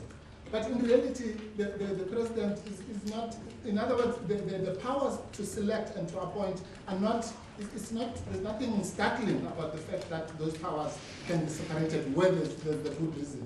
As I say, whether the reason is judicial independence or it's the independence of SABC or ICASA or whatever. The, the, our law is replete with examples where the power to appoint is uh, for, for, for, for, justifiable reasons uh, uh, separated. I think the section, I want to read it, is section 177 and 178, the one that deals with the JSC. And it makes it clear, one of those subsections there maps out the whole process. Uh, there's interviews, this and that and that and that. But then the, the last section says, then the president must appoint this and that and that person. Okay. Then, now, um, if we then go to the, the uh, if, if I may just be permitted to, to go back to the question of what, what I said yesterday was, what, what is the, the, the juridical nature of these so-called observations? Now, as, as, as lawyers, you know, we don't like these new, new terms, observations. we want the terms that we know. And my, my, my, my proposal is, is, is, is simply this, my submission that what, what the public protector calls observations are actually nothing else but prima facie evidence or prima facie findings, or as we call them in our, in our uh, affidavit, preliminary findings. So, but it doesn't matter what you call them. You can call them observations, preliminary findings. The question is, what is the substance? It's not the form of the word that is used. The substance of, of, of what we have in front of us is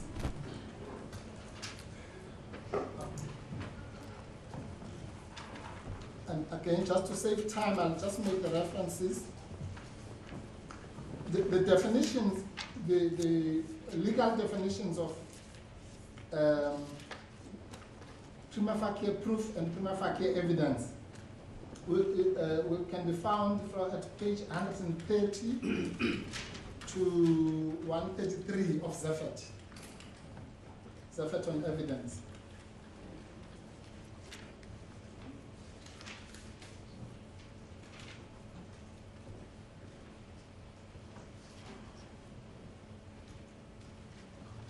And uh, I just want to make this point in addition.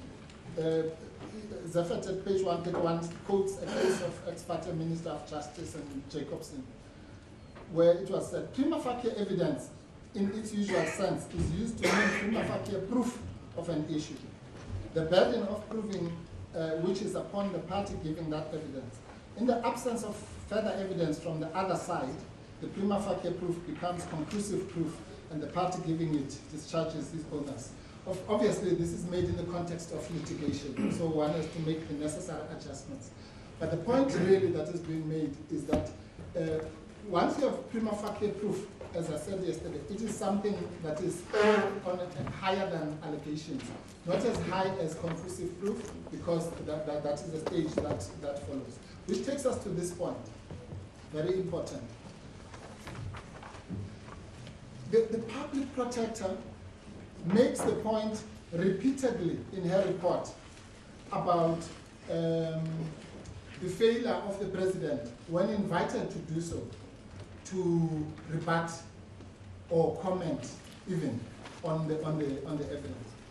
Now, we know that as a general statement, again, and again, I'm not transplanting these principles, I'm simply uh, uh, using them to, to, to illustrate the point. The, at a page 134, 133 to 130, let's just say to 135 of his he deals with what he, calls failure to rebut or to explain. Now that's important in the context of prima facie evidence because sometimes the failure to rebut clear evidence. I mean, if I'm holding a gun and somebody, there's a dead body here and the gun is smoking and uh, somebody comes and says, did you kill the person? And I say nothing. So the prima facie proof can, in those kinds of circumstances, uh, graduate to conclusive proof merely because of the failure to deal with it uh, when, when confronted with it. Um, but this is what the commission will investigate uh, at the end of the day, whether the one by the president on his own or the one dictated to him. So, uh, no, no, no, I, yes. I take that point. I yes. that point, JP. I'm, I'm, simply saying that here now, as we, as we stand, yeah. we have a situation where the public pro protector says at page 40 of, of, the, of her uh, report, mm. paragraph 3.14, and, and uh, just as an aside, the, the, the, the, chronology of this matter, as, as, as uh, the JP pointed out uh, in our discussion in chambers, the chronology of this matter must start on the 22nd of April in 2016. That is at the time at which, remember there was a letter in March which was not received, but on, on 22nd April, the letter is received. And it's very clear from the report that that, that letter contains an invitation to comment. It is in that context that she says at page 40, on 22 April, I forwarded a copy of the letter, blah, blah, blah, and then she says at 3.14, I received no response from the president. In other words, to, to that invitation. At page 41, she, she says, I ended off the notice by, this is now the notice of the 1st of October, 3.17. I ended off the notice by advising the president that, that if I do not get his version, which contradicts the said evidence, there would be a possibility that I could find that the above allegations are sustained by the evidence. I detailed the various conclusions that I would make in that case. In other words, she's now given an, a warning to say, look, if you fail to rebut this, then it might be elevated to something else. At page 44, I think again, you, you, have made your point, Mr. Mpofu. You've made your point. Well, okay, uh, there's one, okay, I'll give you one out of three at least, if, uh, which, which is, uh, okay, I'll just give the references, I won't read them. Page 44, paragraph 3.35. Uh, page 44 again, paragraph 3.36. Page 108, 108, paragraph 5.28. All those are, are instances where the, the public protector specifically explains what that basically. Um, the, the one in page 44, what paragraph is it? Paragraph 3.35. Uh, right and 3.36. And 2.36 on the same page. Thank and you then page 108, 5.28. Right.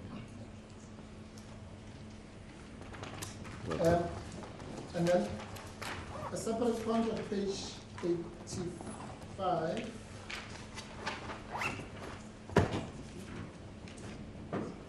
No, that's, that's, that's, okay. I, I, again, I just uh, I won't read the, the detail. I simply wanted to refer to um, heading five there, which says evidence and information obtained. So again, we're, we're dealing with evidence, albeit prima facie. Uh, I think you should move to your last point because you're running out of time. Uh, are we still on the same uh, deal as requested Well, you allowed uh, Advocate Ngcukaitobi to use the chunk Did of your time. Yes. All right, I won't do it again. uh, oh, yes. Let, let, yes, I'm, I'm going to move to the, the question of Before I move to the last one, let me just pose the, the problem as this. So, in the ultimate uh, analysis, the question really facing the court is in the light of the investigations, the prima facie findings, failure and refusal to cooperate and to assist in breach of his duties, the very wide powers as defined by the Constitution, was the public protector uh, powerless to act or was her remedial action appropriate? Now, turning to the question, the last question, which is uh, the costs, I would like, with the permission of the court, to we, we have taken the liberty to prepare a draft order, and I'll explain. Uh, it will either be useful or not useful. but uh,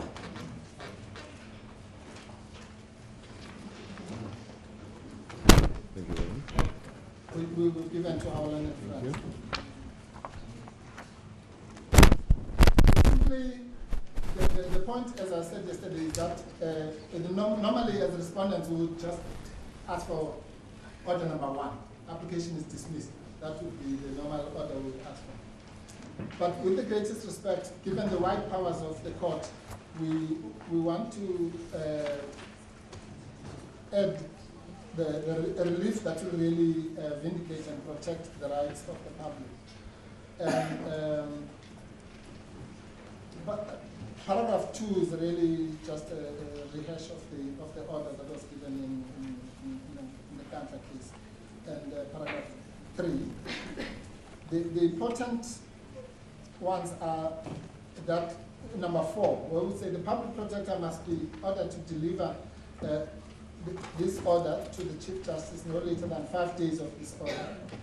The President to appoint within 15 days of this order a commission of inquiry headed by a judge solely selected by the Chief Justice, who shall provide one name to the President within five days after receipt of a copy of this order. And the President is further dir- directed to comply with paragraph 8.7 and 8.8 of the Public Protector's report, uh, in that the Commission is given powers of evidence of collection that are no less than that of the Public Protector. President shall submit the Commission's report to Parliament within 14 days of its release, such report being produced no later than 180 days from its inception. That comes from the remedial action. And then the last part, which is what I want to address now, is the President must pay the cost of this application in his personal capacity, including the costs occasioned by the employment of two counsel. So if we are with you, you want us to dictate to Chief Justice that he only has five days to select a judge? No, we, we were very careful not to do, do that. Well, for that's what, reasons. that's what this sounds like. Well, with the, the, that order then can, can, can. Well, I'm just saying if we're with you, that. If, if, if you're with us. It's not so much a dictation if you think about it, uh, Judge President. Remember where we are. We are, I mean, we are literally almost on the anniversary of the, the order that you gave, uh, Judge President, uh, a year ago for this to happen. It should have happened. So every time you see 15 days or five days here, think uh, November uh, 2016.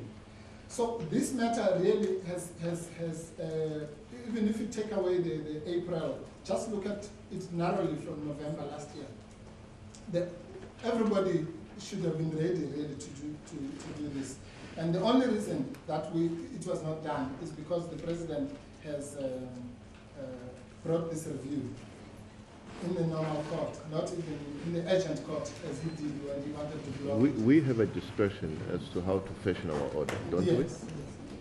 The, the, so If you, if you admit that, I don't think I want to hear you anymore. I do, I do. Okay, thank you. And, and, uh, Can you go to the, to the costs part, Yes. please?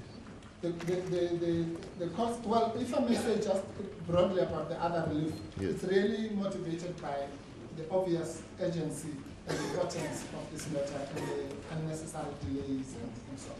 But uh, I won't belabor that point. I think that point was made sufficiently yesterday.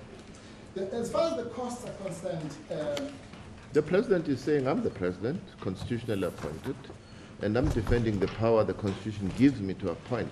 Why should I be hit with a personal cost order when I do that?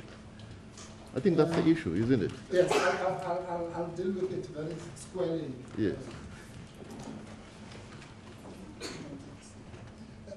Can you just bear with me for one second?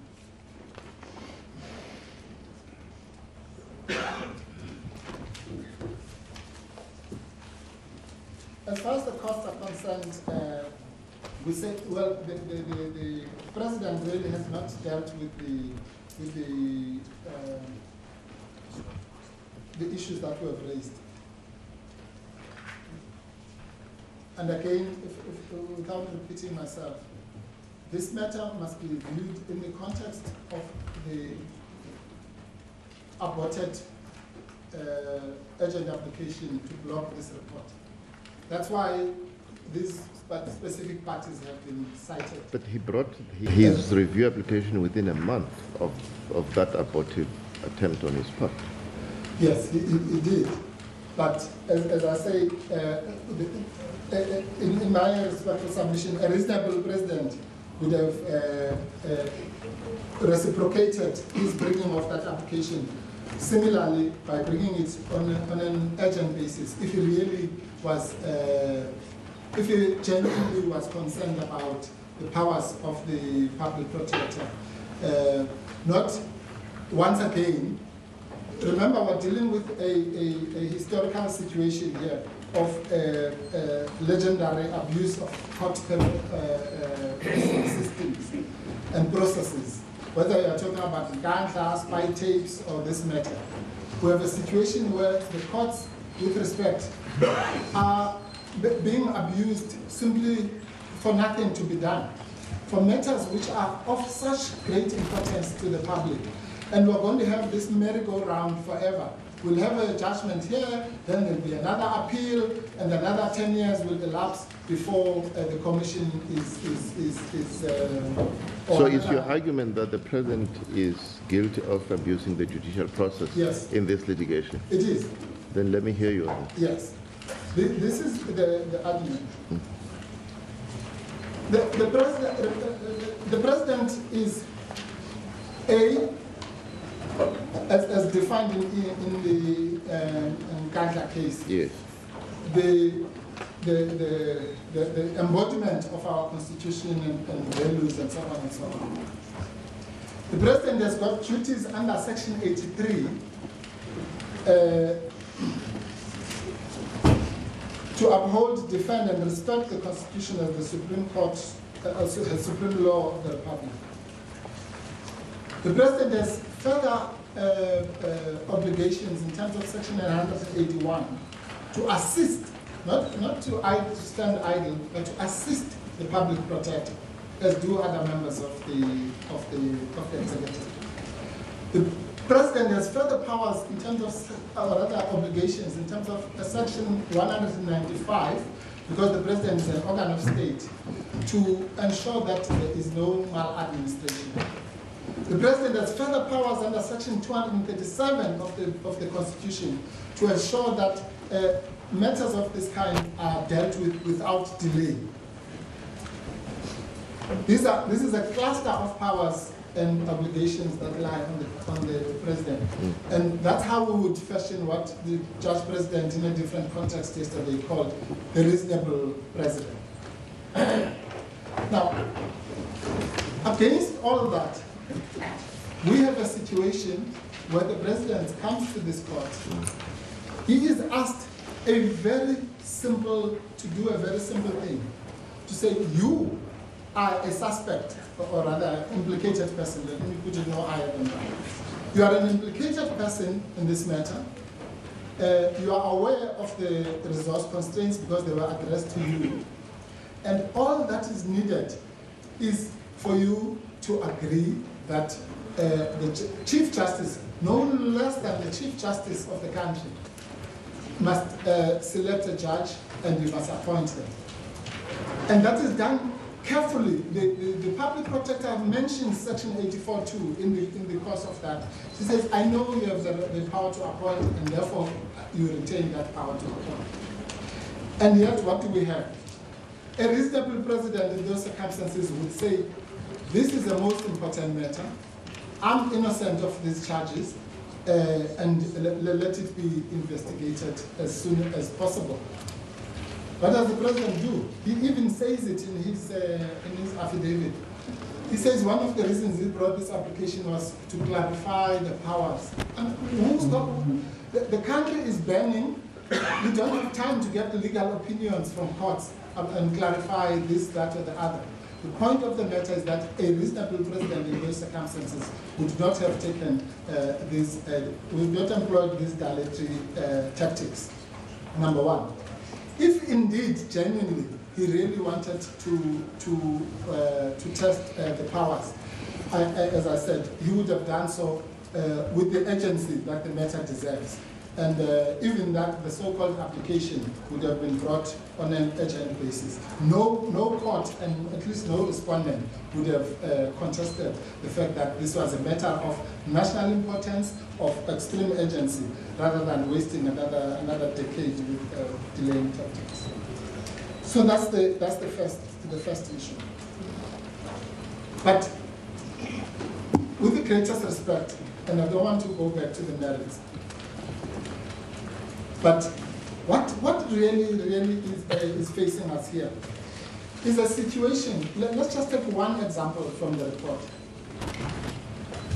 If indeed, just to show the, the seriousness of what, what is being uh, alleged against the president, if it is true that the Guptas knew about a cabinet reshuffle or the appointment of a finance minister a week at least or more before that happened. Then there's only one person in the whole world who could have told them that. And it is the president, because it, it is sole uh, uh, power and uh, it resides only with him. So whatever you, one might say about the, the, the, the, quality of the evidence that is there, the, the nature of the investigation, but it postulates basically politically and constitutionally the end of the world. Because at the point at which a, a private entity that has a, a business interest that is uh, that in, involves the president's son and his admitted friends start to appoint cabinet ministers, then we must know we must kiss the democracy goodbye. So we're not dealing with some administrative uh, maladministration here, actually. Uh, you know, of uh, somebody who didn't get a house, uh, where they jumped the queue, and so on and so on. No. This is, this is it. Once uh, a, a, president can connive with his friends and his son to ensure to appoint cabinet ministers, a power that is denied even from, from cabinet ministers. Cabinet ministers cannot play any role. Are you still in, arguing cost? In the, in the, in the, in the appointment. Mm. Yes, uh, the, the point here I'm making simply, yes. uh, uh, uh, Judge President, yes. is that the, the, the, the, the, allegations, whatever you think, even let's even leave them at the level of allegations, nothing more, are of such a nature that a reasonable president would have uh, uh, cooperated to make sure a, not to bring such a frivolous application, but if you do, then to do it with the sensitivity of, of and then, then with the greatest respect. And this is why we say, firstly, the, the, the costs must be on a punitive scale, whether they're personal or not personal, but they should be on a punitive scale. Then you come here, uh, apart from all the, the, the, the, games that were played with the, with the uh, public protector, even, even here in the, in the affidavit, you find what really I will call uh, uh, abuse of court, misleading the court. Let's take one example.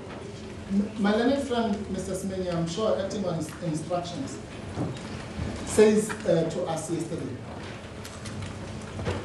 the, the president, and again, I'm not revisiting the, the merits and the question of corruption and so on, but he says, the, when the president said on the 22nd of June I'm about to, about to, those are his words, I'm about to appoint a commission of inquiry. He didn't, it didn't mean this commission of inquiry of the, of the uh, public protector. But that is absurd because in the same breath, he says the president knew that you cannot appoint another commission. You can't appoint the, the, the other commission why? Because you'll be brought to court, uh, and so on. So clearly, therefore, what he was talking about on the 22nd of June can only be this commission. It could not be the one that he says would be, would be challenged. I mean, those are clear, blatant gymnastics that are being played even to, to, the, to, to, to, to, to this court, forget about the public, to avoid a simple matter of uh, investigating and um, and, and, and uh, I'm sorry, investigating and, and, and really getting on with uh, uh, uh, the, the public knowing whether or not the, the, there is uh, criminality at the highest levels of, of, of, government, which is an important thing. And at, at the heart of this case, uh, Justice JP and, and, and justices, is an attempt uh, very thinly veiled to, to preserve the so-called prerogative of the president, which I, I spoke about yesterday. In other words, the whole case is built on the notion that simply because the president has got exclusive powers to appoint commissions, therefore it means he can do what he likes. Or to put it the other way, nobody can uh, tell him how to do it, even when he is the, the, the, the person who is uh, uh, implicated. So he must pers personally and exclusively choose the judge. Uh, he does not want the Chief Justice to do it. If he's acting in the public interest, he wouldn't uh, resist the, the involvement of the Chief Justice. No, no, no, no sane person uh, can do that because that office, by its definition, I mean, uh, uh, Judge President, I don't want to waste time, but uh, let, us just take a simple example. If somebody came to this court here, the Gauteng High Court, and said, Judge Mlambo did this and the other, Judge President, and uh, took this file and that and, and so on, it, it, it's almost natural that the, the judge president of this division would know that, well, for this particular case, because there are these uh, silly allegations that have been made, I'm not going to do what I normally do, which is to select uh, the judges that are going to sit in that particular case. It's, it's, it's a natural reaction of anybody who really, A, wants uh, uh, the, the country to move forward, or the allegations to be, to, to be cleared. All of us, one can have a thousand examples about uh, how that happens. It happens in board meetings on a daily basis when people uh, perceive even a risk of, as, as I said yesterday, of a conflict of interest. Why do we have somebody where there's a there is no one else. All the complaints are about one person. They are about uh, the president of the country. All the complaints, the first person to be interviewed is the president. The, he, his, his person looms large in this matter. And this is the last point I want to make on, on, on personal costs. Mr. Semenya says, no, he's acting in his official capacity. Well, that, with the greatest respect, must be rejected with the contempt it deserves. Because the suggestion that when President Zuma was uh, calling uh, Mr. Maseko to say, uh, that he was doing so in his official capacity is absurd and must be rejected.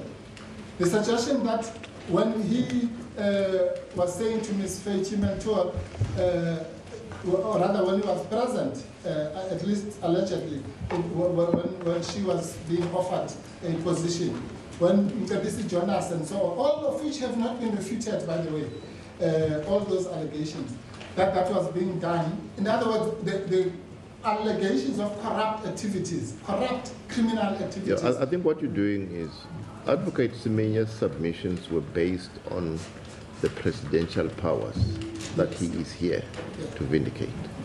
You are saying because of the personal, alleged personal involvement of the president, that bringing this whole litigation should not have happened. Yes, uh, yes, I'm saying that, but I'm also saying it was, to protect his own personal skin. It, it, has got nothing to do with the office of the president, really, this whole thing. The, the, the whole, all these gymnastics and delaying tactics are to protect his own personal involvement or non-involvement. We don't know. But the point of the matter is that he, th th this is something, these are things that were done uh, in, in a criminal capacity, not in an official capacity. Uh, and, and, and that the, the, the, allegations by that nature. And again, I, I don't want to suggest that they are proven or anything. I'm not, I'm not talking about that. I'm simply saying a reasonable president faced with these allegations about him himself uh, would either say, look, I, can, I cannot because really what, what do we have here, Judge We have a situation where the allegations are that the public has been stolen, that money has been stolen from the public in the greatest uh, scheme. When we talk about these uh, parastatals that are involved here, five of them, I did an unscientific desktop uh, uh, uh research. They employ more than 100,000 people just between them. Transnet, Eskom, SABC, Denel, um, I forget the fifth one. The public service per se employs a million people. So the, this thing touches all South Africans. And it's about taxpayers' money. Why must the taxpayers' money be stolen by the Guptas with the president's connivance and pay for it? And the, the, taxpayer must also pay for the legal costs of, uh, of, of, of, of, resisting an investigation into that very fact. Please, we, we cannot, if, if public officials are allowed to continue like this, then these courts are going to be uh, inundated with uh, uh, frivolous applications, delaying tactics. I can swear that nobody would have taken this if he was paying from his own pocket. He wouldn't have brought such a, a matter in front of, the, of, of, this court. It's because we are paying for it. Yeah, could I ask you to wind up, please? Yes. Um, then uh, the, the, the, the, question of, of, of, of frivolity, uh, which was raised by Mr. Semenya, with respect, it does not really deal with the question of personal cost. It deals with my second point, which is that the cost, in any event, if the court is not with me as to the question of personal cost, I would uh, respectfully submit, without repeating the submissions that I've made, that nevertheless, even if the president is allowed, so to speak, to act in his official capacity, the, because of what I've already said, the cost should nevertheless be on a punitive scale. And I associate myself with the other submissions uh, to do with um, uh, the BioWatch application if, if, if, if the reverse holds. If you do, if you lose. If, if, if I may just. and, and, and uh, just a passing shot, uh, uh, President, is to say that I'm, I'm assuming again, once again, that one doesn't have to retraverse uh, the facts, as the JP uh, said yesterday. But the motivation, even on the question of costs, the, the, the, whole question of the conduct, the refusal to cooperate and so on is all on the record. I don't have to go back. Yeah, in your head. But I'd like it to be taken into, into account in this context, simply in this context of the cost debate. As God Thank you very much. There's anything else. Thank you very much, Advocate Mpofu. As it is. Yeah. Uh, Advocate Budlender. Mm -hmm.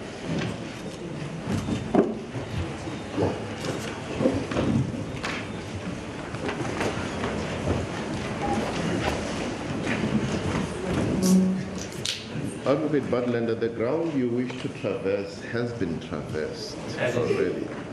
So you are on borrowed time. Judge President, we've listened very carefully to the submissions that have been made, and we don't propose to, to repeat any of them. Okay. The points that we make will complement the points that have already been addressed. If I could seek to do so under three headings, right. uh, briefly. And uh, I will only take the court to authorities that have not already been dealt with, or points that have not already been dealt with.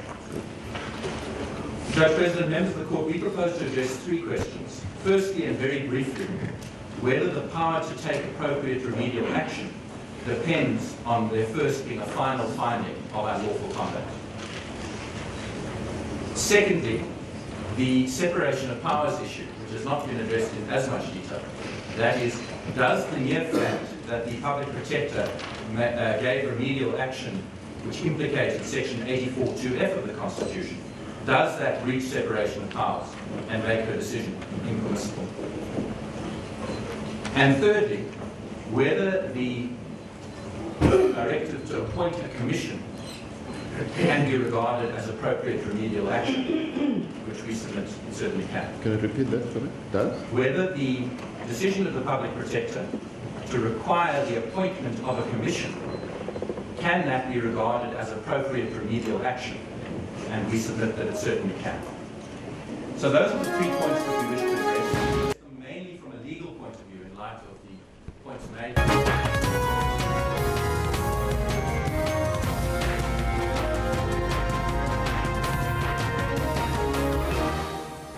Well, that's the proceedings in the High Court, of course. We will go back there live in a short while, but uh, let's go back to the top of the hour and uh, let us remind you of your top stories here on the newsroom. I'm Elvis Presslin. I'm Kendall Mahamat.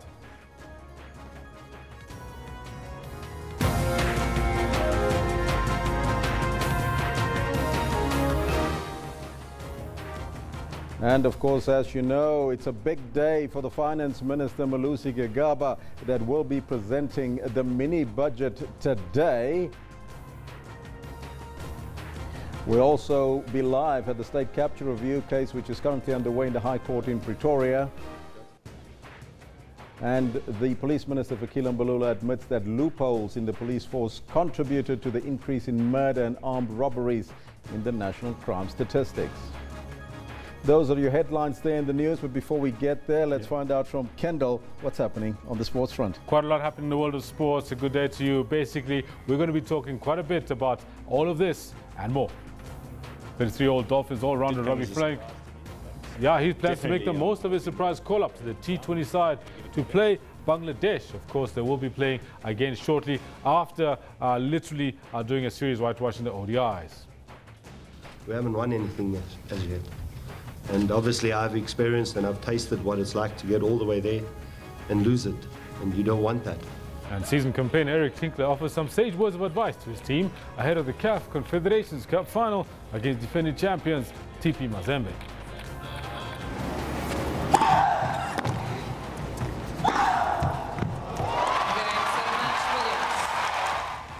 And Venus Williams beats Latvian Jelena Ostapenko in three epic hours to keep her hopes of qualifying for the WTA semi-finals alive. And that's it. That's what we have for you in the sports. But Elvis, that's all up to you. Thank you, Kendall. Now, the Finance Minister, Malusi Gigaba, uh, Gigaba, rather, it's a big day. He will deliver his first midterm budget policy statement today. Now, the mini budget, as you know, does not provide exact allocations, but it does set out government spending priorities for the next three years. Ratings agencies will be paying close attention to the minister's speech. South Africa has already been downgraded to junk status, and they've warned government that they want to see policy that supports fiscal strength and stability.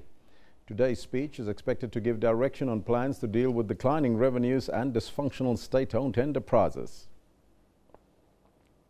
Now, we want to see if we can uh, connect with Devon Murugan, who is in Cape Town a little bit later, to give us an update on the midterm budget. Uh, so, as soon as we do get hold of him, we'll get to that.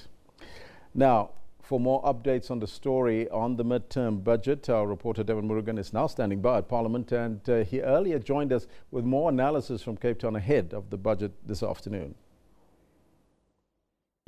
Well, we're approaching uh, mid-morning here in Cape Town at Parliament. The drizzle continues ahead of that all-important midterm budget policy statement from uh, the newly installed Finance Minister Malusi Gigaba. It is his inaugural budget statement, and many argue that this might be a watershed moment a lot of issues on the table here. We have a weakening economy, uh, growth expected around half a percent. That's not enough to create the jobs needed. Big question mark over funding of SOEs, and of course, this widening budget deficit. That's the difference between the money we collect in taxes and that which we spend. Now, perhaps that's uh, a good point to bring in our expert here, Afzal Khan from Raft Incorporated. I, I want to talk about taxes specifically, uh, Afzal, because it's perhaps the closest reference point to the man on the street out there. In order to uh, plug this deficit that we are seeing, some put it at 30, some put it at 60 billion rand, depending on who's doing the calculations. And it seems, though, that we've got to turn to the taxpayer for this. So for the mini budget, there's not much one can do now because you're in the middle of the cycle. So you can estimate the number and plan for it. So they're going to have to come up with something in, in the borrowing space for that. Uh, they might allude to taxes. The only thing you could do with interim taxes is your once-off taxes, so donations tax, capital gains tax. But I, I can't see him doing anything now in relation to that. Um, he, he might allude to something, but you know what's coming up in December, so so they're probably going to be quiet around that and talk about what's going to happen. The problem with with, with the collection is if SARS goes tight on taxpayers to collect, which is what we're seeing in the market, you, you they might collect the revenue, but they might cripple the economy. So that balancing act is, is very important that the economy is protected. But nevertheless, certainly this, as you correctly say, is an adjustment budget. It reviews what had happened over the past six months and three years ahead. But arguably, this is a curtain raiser for things to come in February. Um, and you can do one of many things. I mean, you could uh, cut spending, you could borrow, and when it comes to taxes, either introduce new taxes, uh, expand the tax base, or, or, or increase the efficiency. So, based on that, I mean, if we had to look forward to February, does the consumer and the average business need to be wary of what's coming in, in, in February? So, so the various committees that have been giving guidance have spoken about a wealth tax. In the beginning of the year, there was also talk about a wealth tax. The form of that wealth tax is, I think, what people are, are, are looking at. Um, to introduce a completely new tax is incredibly cumbersome. So, what you might find, uh, donations tax, the rate might change from 20% to something else. Um, skills development levy is 0.5%. That could change. VAT they might talk that now is the time where they don't have a choice. in tough times, people need to come together. But I think the man in the street is going to say, what about government spending? Um, so I think from a tax perspective, they do need to pull off the pedal. Remember, personal taxes went up to 45% in February for the maximum threshold. You can't take it much higher than that without starting to, to cripple the, the middle class and cripple the, the tax-paying public. When you talk about the contribution that taxes across the board can make to plug this particular deficit, um, it doesn't seem convincing that that's enough money to plug it. Uh, so, so the question is then, should we perhaps see a mix of borrowing and taxing and spending cuts, as you say? What do you foresee? So, so in a sense, it's easy that first you look for borrowing. If you can't get borrowing, then you're almost forced to tax because it's an accountant's job again. You have to balance the books. So if you're balancing the books and you can't borrow or the debt is too expensive because of our, our, our status, then you have to tax. And then it's a, a, a, reality for everyone out there that the, the country then needs to come together and, and help to pay the taxes. So there's a big big pressure is going to be on government to show that they can actually do the job so the taxpayers are willing to pay. Because remember, the willingness to pay tax is another huge issue. Yeah. And that's a very important aspect. I mean, you have a thing called tax morality, is the term I think uh, the finance minister used. Uh, we have this phenomenon that was identified in the US where you tax uh, in order to increase your revenue to such an extent that you actually create the opposite effect and people hold back or find it unwilling to get involved in economic activity because it's just not worth it. If you look at the fact that we had this 28 billion rand in tax measures in February, six months down the line, our fiscus is still in a bad shape. Are we reaching that point where you know we've reached the ceiling in terms of tax measures? So, so that's right, and it's not just tax; it's the the red tape around being uh, in the formal sector or even being an SME.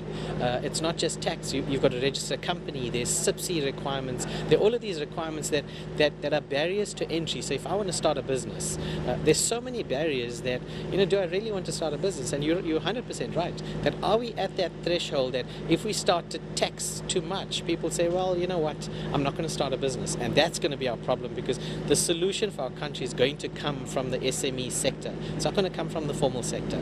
Uh, perhaps mining taxes may be something they, they'll look at, but that solution has to come from that sector and you have to incentivize. Um, and create an awareness of the incentives. There's a lot in there, but the man in the street, the, the employment tax incentive, if you go to the, the, the, the small businessman and you say, have you claimed your ETI? He'll ask you, what's that?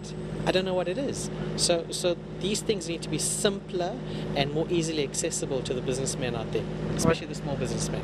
And my final question for the Finance Minister, Malusi Gigaba, this afternoon to convey a sense of credibility and believability uh, and acceptance uh, with all the broad players in the tax space. What do you think is the single most important thing he needs to convey this afternoon? I think transparency is probably the most important thing. Is that if we are short on budget, then this is what we're short by. Um, we're not going to withhold VAT refunds. We're going to pay out VAT refunds because while we're short as government, the economy must run. We don't want to cripple business by keeping your cash flow with SARS. There are problems in paying out VAT refunds and many other refunds. And what National Treasury need to do and SARS is to make sure that your refund is paid out on time and then say, we're doing all of this, we're protecting the economy, but this is what we're short by, and these are our plans to fix that gap. And it can't be a short-term plan. This has to be long-term thinking. Thanks very much, Afzal Khan from uh, Raft Incorporated.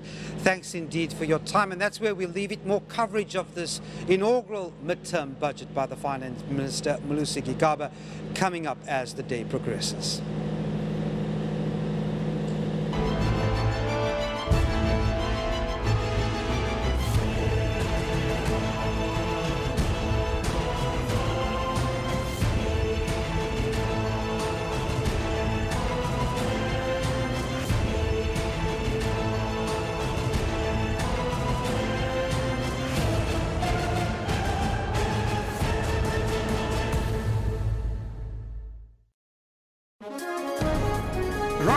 Rights and recourse tackles constitutional issues.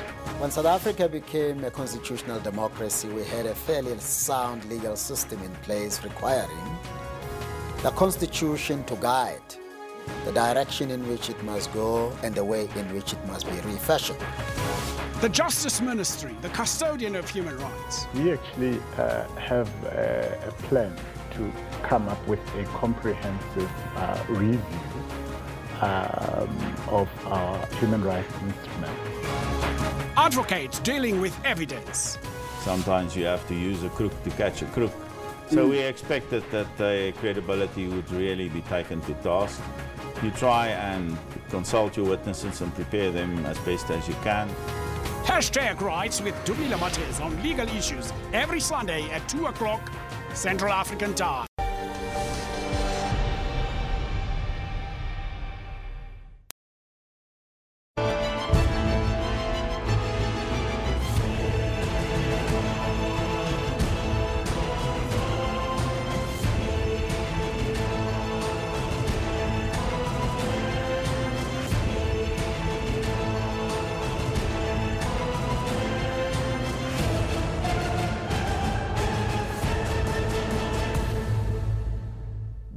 Midterm policy statement. It's all happening this afternoon. Let's now go live back to our reporter, Devon Murugan, who is uh, in Cape Town to give us more. Once again, good morning to you, Devon. Well, thanks very much indeed, Elvis. We're approaching uh, midday. It's mid-morning now here at Parliament, waiting for the inaugural budget policy statement speech by Malusi Gigaba, the recently installed uh, finance minister. Uh, of course, he's got a, a, big task ahead of him. Uh, remember that he's uh, delivering this uh, medium-term budget policy statement under the backdrop of really a solid track record from his predecessors.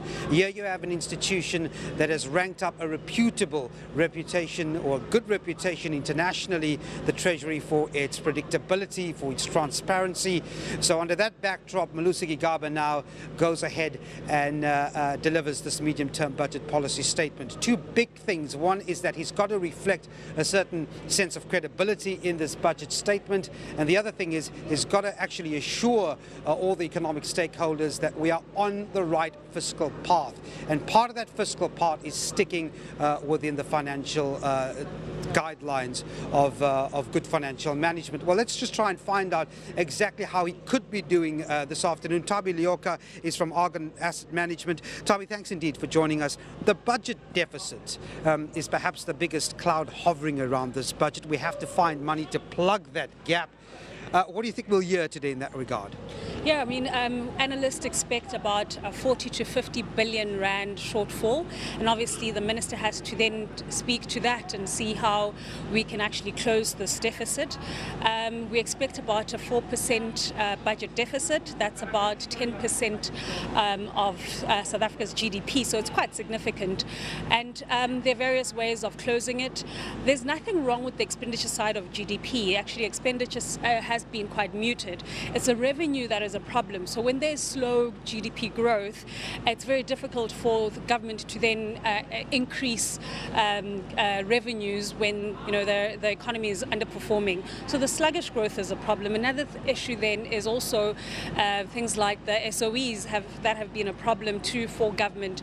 Um, government has paid um, quite a bit of money into SAA, and I know that the spotlight has been on SAA, but there are other SOEs that are also um, underperforming and may need funding, such as PRASA, SABC, etc. Um, and so those are also a concern. It will be interesting to see what the minister says to that.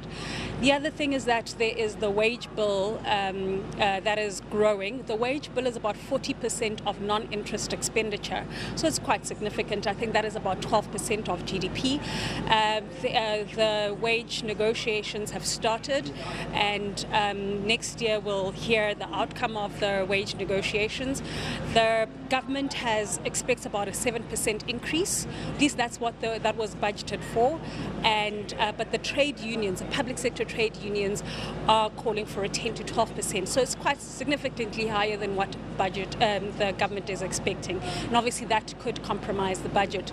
The other thing also is that in July during the policy conference, um, the ANC mentioned uh, a commitment to uh, the NHI and also to um, uh, not increasing, or at least free education, free tertiary education for low and middle income earners. And again, looking at the budget, that was not uh, um, looked at uh, according to, or at least in relation to the fiscus, and something like the NHS is going to be, NHI, sorry, is going to be very expensive for the government. Uh, currently, uh, if we look at 2015 numbers, um, pay as in uh, uh, fees that uh, students pay to universities account for about 34% um, of university total income. And that basically will be uh, something that the government will have to fork out. All of those pressures on our fiscus this afternoon. Uh, but I want to go back to what you said about state owned enterprises. With regards to SAA, something like 10 billion rand needed to get this airline back on track. Um, We've heard the issue of, of Telkom shares coming in. There was a possibility that government would sell off these shares and use that money to, to, to rescue SAA. Uh, we subsequently heard that might not happen, but something really needs to be sold as far as government assets is concerned because where the money would come from still remains a mystery. That is true. Um, the assumption is that they actually took the money from the National Revenue Fund, but again, that money needs to come from somewhere else. Um, so it, it, that is also something that the minister will have to iron out at the um, MTBPS in his in his speech, so that we can also get clarity on where the money will come from. And um, you are right that they did cancel the selling of shares um, uh, from Vodacom, and these are, you know, good performing or performing uh, shares that contribute significantly towards the fiscus uh, from a dividends perspective. I think 800 million goes into the fiscus. So it's not money that we can actually just uh, take easily and put into an Eskom. I think we also need to have very uh, look at alternative ways of solving uh, um, SAA's problem. And one such way, which has not been very popular, is privatization. And um, privatization was hinted at at the budget in February.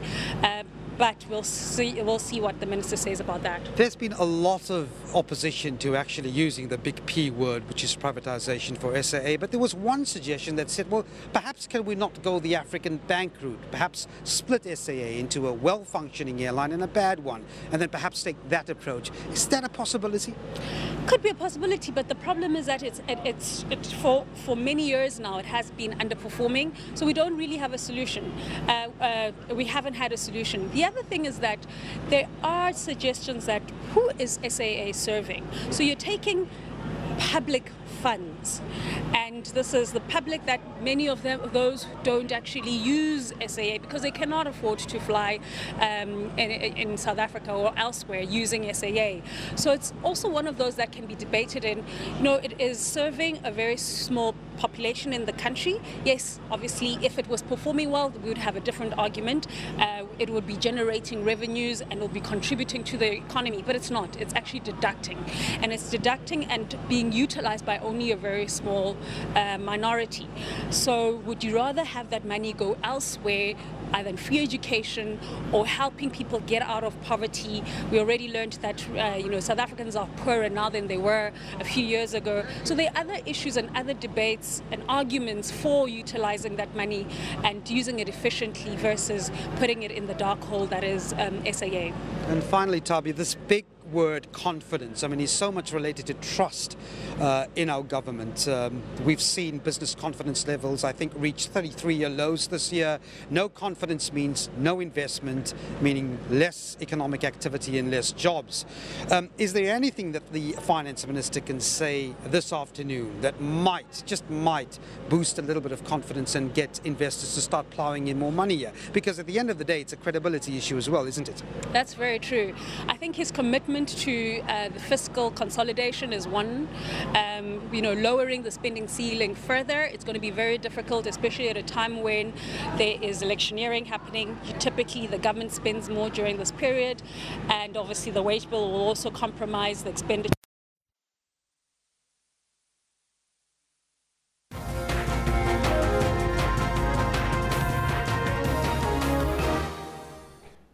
While local, small and medium enterprises have many wishes for the upcoming medium-term budget policy statement or the mini budget, now that will improve the ease of doing business. None of these will be significant unless the ultimate outcome of the speech is improved and it improves economic prospects. Now, for more on this, we're joined by Ben Bierman. He's the Managing Director at Business Partners Limited. A very good morning to you, sir, and welcome. Good morning, Elvis. As um, business partners, what is your expectations from the mini budget this afternoon? As we, we try and look at it from a small business perspective, mm-hmm. and, and I think it's fair to say that in the current context, in the current narrative, what we would be wishing for is a rising tide because a rising tide would lift all boats. So mm-hmm. SMEs are a very unique and a special part of our economic environment and one would be able, one would hope to be able to actually express wishes for that sector specifically. But I think it's dominated by the broader expectations around getting clear direction around economic growth, mm-hmm. to get some policy certainty and policy um, clarity for every one of the big players within the economy. Mm-hmm. And if one then drills down into the small and medium enterprise sector, I think that would benefit the, mm-hmm. the broader sector as a, as a first step. But then also we always look at the ecosystem which small businesses need to, to thrive in, to, to, be, to be healthy and to be sustainable. Mm-hmm. And then one would could only wish for some initiatives that would improve that ecosystem, perhaps more funding, perhaps a big, bigger allocation to the small business ministry mm-hmm. that could actually do significant, take significant steps to try and improve that ecosystem. Mm-hmm. Why is policy certainty, especially for small and medium enterprises, so important? Elvis, you need to recognize that the, the bigger players within the broader economic environment, like the big corporates, the mining sector, the, the government, they are an important supplier or a customer base for SMEs because most SMEs either supply to consumers or they supply to the, to the bigger corporates. Mm-hmm. And if those corporates are not procuring and those corporates are not growing, it then filters down to the SME sector. Mm-hmm. That's why that big important issue this afternoon of getting policy certainty and clarity on econ- economic growth trajectory mm-hmm. would ultimately spin spin down and roll down into the SME sector as well. But they're dependent on those sectors doing well as well. What type of economic policies do you think will make South Africa a more investor-friendly country? That, especially for SMEs, of course. Yes, I think the, the, the, the, first thing is that we need to get the, what I refer to as the confidence deficit addressed. Mm-hmm. Confidence is such an intangible confidence and trust. It's such an intangible ingredient and it can so easily be rectified or improved. Mm-hmm. And if we can get that done this afternoon or move forward to create more confidence and trust in where we're going, mm-hmm. then I think that's the first step mm-hmm. in, in, terms of getting our economic potential unlocked. Because we as a country, I think we should be growing at 3.5 to 4 percent. Mm-hmm. We have the potential to grow even at, at, higher rates, and we just not seem able to, to unlock this growth. And if our finance minister this afternoon starts embarking on an inclusive growth policy statement, I think that will inspire confidence. If there's clear direction, clear decision making, and that we that we remove the elephants in the room to a large extent about where he, as as the finance minister, positions himself. It's such a vital role for our for our economy. A big word within the small medium enterprises segment is always about red tape. What red tape uh, do you think is hampering the growth of small business in this country? I think some of the red tape is necessary. We've, we've got to recognize that we've, we have, we've got a well regulated economic environment and we've got really good principles and policies about how you, you, you operate within the business environment. And the thing that we argue the most for is to make sure that these rules and regulations and the red tape, if you, if you, if you mm-hmm. may, that, it's get, that it gets executed effectively. I think that is even more crucial than trying to remove some of the red tape. But there are lots of issues in terms of local government legislation that contradicts national government legislation, and that just makes it that much more difficult mm. for the SME to navigate the legal and, and, and compliance environment successfully. Mm-hmm. It adds a burden to the business. But I think we have to recognize as well that government has done some work and has done some really good work in actually removing some of the red tape. And I think one example would be the one stop shop that they've created at SARS. And I think we still have a brilliant world class revenue service. So one also needs to recognize the gains that they've made. Is funding still a stumbling block, block especially from um, the big four banks? And, and as business partners, what do you do to compensate and make sure that small and medium businesses has got access to it? We've got a fantastic fin financial sector um, in South Africa, well developed, well governed. But I think mm. it's again about risk, it's about trying to identify the risk, and it's about confidence. And if those ingredients are in short supply or an, an increased supply of risk, then funders such as banks tend to become a bit more cautious because they can't see the future, they can't see where exactly the economic environment is going. So, access to funding and be successful as a small business mm-hmm. to obtain funding will always remain a risk. Mm-hmm. It's got a number of factors that actually makes it more difficult. But our role as, as business partners is to actually identify the viability within the business rather than do lending on a, on a collateralized basis. Mm-hmm. And today, I think SMEs need funding more than ever to restructure their balance sheets, to embark on those growth plans that they might have. Mm-hmm. But in our experience, we've seen that a lot of SMEs have got very clearly defined and identified growth plans but there's a reticence to actually embark on them. And again, it comes back to that vital ingredient of confidence in the future to take the plunge and to take the risk and actually grow your business. Mm-hmm. What agenda and direction do you think should National Treasury take in, in terms of the current macroeconomic challenges faced by the SME sector? I don't envy our finance minister because I think he has to walk such a tightrope this afternoon, and I think even in March or February next year mm-hmm. because there's a number of factors that are constraining the amount of maneuverability that he has to come up with a clear and cohesive plan. Mm-hmm. If I was him, I would focus entirely on trying to get confidence and, and, and trust back. I've been saying this the whole time mm-hmm. because within that, I think that will unlock a lot of positivity, give him a bit more capacity in terms of revenue growth. Mm-hmm. And then really look at the efficiency in terms of the expenditure side of his of his budget. Tax breaks and tax reliefs, is that perhaps on the card, do you think? I don't think so. I mm-hmm. think at this stage, I think I would be shocked if there was tax breaks announced mm-hmm. this afternoon. I think one understands the difficult position that he finds himself under with the revenues that are really seriously under mm-hmm. under pressure. And I think the way to unlock additional revenue would get would be to get the economic environment growing. But I think at this stage, mm-hmm. I would not be surprised to see additional wealth taxes. Mm-hmm. I think in the current context, and the current narrative, my view is that that would be justified. But I don't think that tax mm-hmm. breaks are in the on the cards for the next 18 or 24 months. From the small medium enterprises segment, your message to the minister this afternoon, what should he focus on? Minister, please give us a, ple- a clear indication of where you stand in terms of your economic plan and make sure that we can get our economy's potential unlocked mm-hmm. by having clarity and having good policies to get this engine going because that will give us the inclusive growth that we so desperately need in this country. Mr. Bierman, I thank you so much for your time and joining us. Thank you very much. That was Ben Bierman. He's the Managing Director at Business Partners Limited.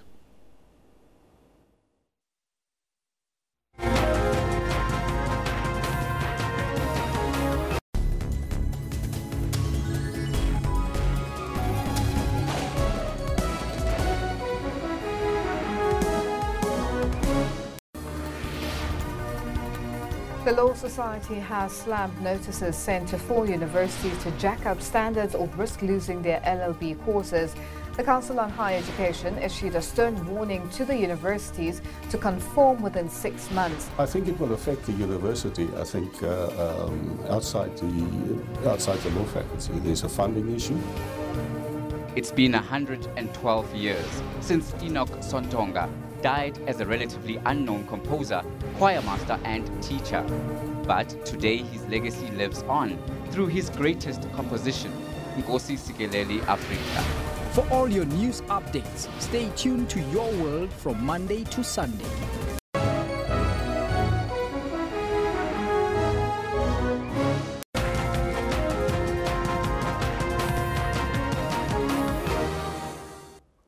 Welcome back. Uh, time for a little bit of sports with me, Kendall Makhamate. Now, FIFPro, the international organization that represents the interests of some 65,000 footballers worldwide, has released the findings of a study that shows that athletes who suffer concussion during their careers are more likely to report anxiety, depression, and sleep disturbance after they retire surveying over 500 former soccer, ice hockey, and rugby players from France, Finland, Ireland, South Africa, Spain, amongst other countries. The study was conducted by sports medicine experts from the University of Cape Town, St. Marianna University School of Medicine in Kawasaki, Japan, and Queen Elizabeth Hospital in Glasgow, Scotland. I spoke to one of the key researchers, Professor Mike Lambert from the University of Cape Town's Exercise Sciences and Sports Medicine departments, and this is what he had to say. Well, the study is actually led by um, Vincent Gouttebarge from Holland. And the reason that, that that's important is because he was an ex-professional football player. He played professional football for France for a number of years, and then he became a sports scientist. So he's got this interest in head injuries from a player's perspective, and now he's looking at it from another direction, that from a, a scientist's perspective. And he noticed when he was a player that many of the retired players seemed to show symptoms of distress. So that was really the catalyst for us doing the study. And he's now led several similar sorts of studies around the world looking at different types of sports people and trying to make the link between professional sport and life after playing professional sport. Now we know that um, many professional sports persons participating in contact sports do get concussions as it's almost accepted as being part of the job. But he, we were interested in seeing what are the consequences of a player who's had several concussions throughout their career. So we, we surveyed a group of uh, ex-professional players from a number of different sports, football, ice hockey, and, and rugby in this particular study. And we asked them a series of questions which all linked to their um, what's called common mental disorders. And those are symptoms of distress, anxiety, um, sleeping disorders, and substance or alcohol abuse. So those were, those were the common symptoms of mental disorders that we really focused on. And uh, the first point was to find out just how many concussions the players had sustained during their careers. And we were surprised that nearly 30% of the players had got four concussions or more during their careers. And what surprised us even more was that those players who had had four concussions or more had an increased risk of getting these common mental disorders that, that I've described.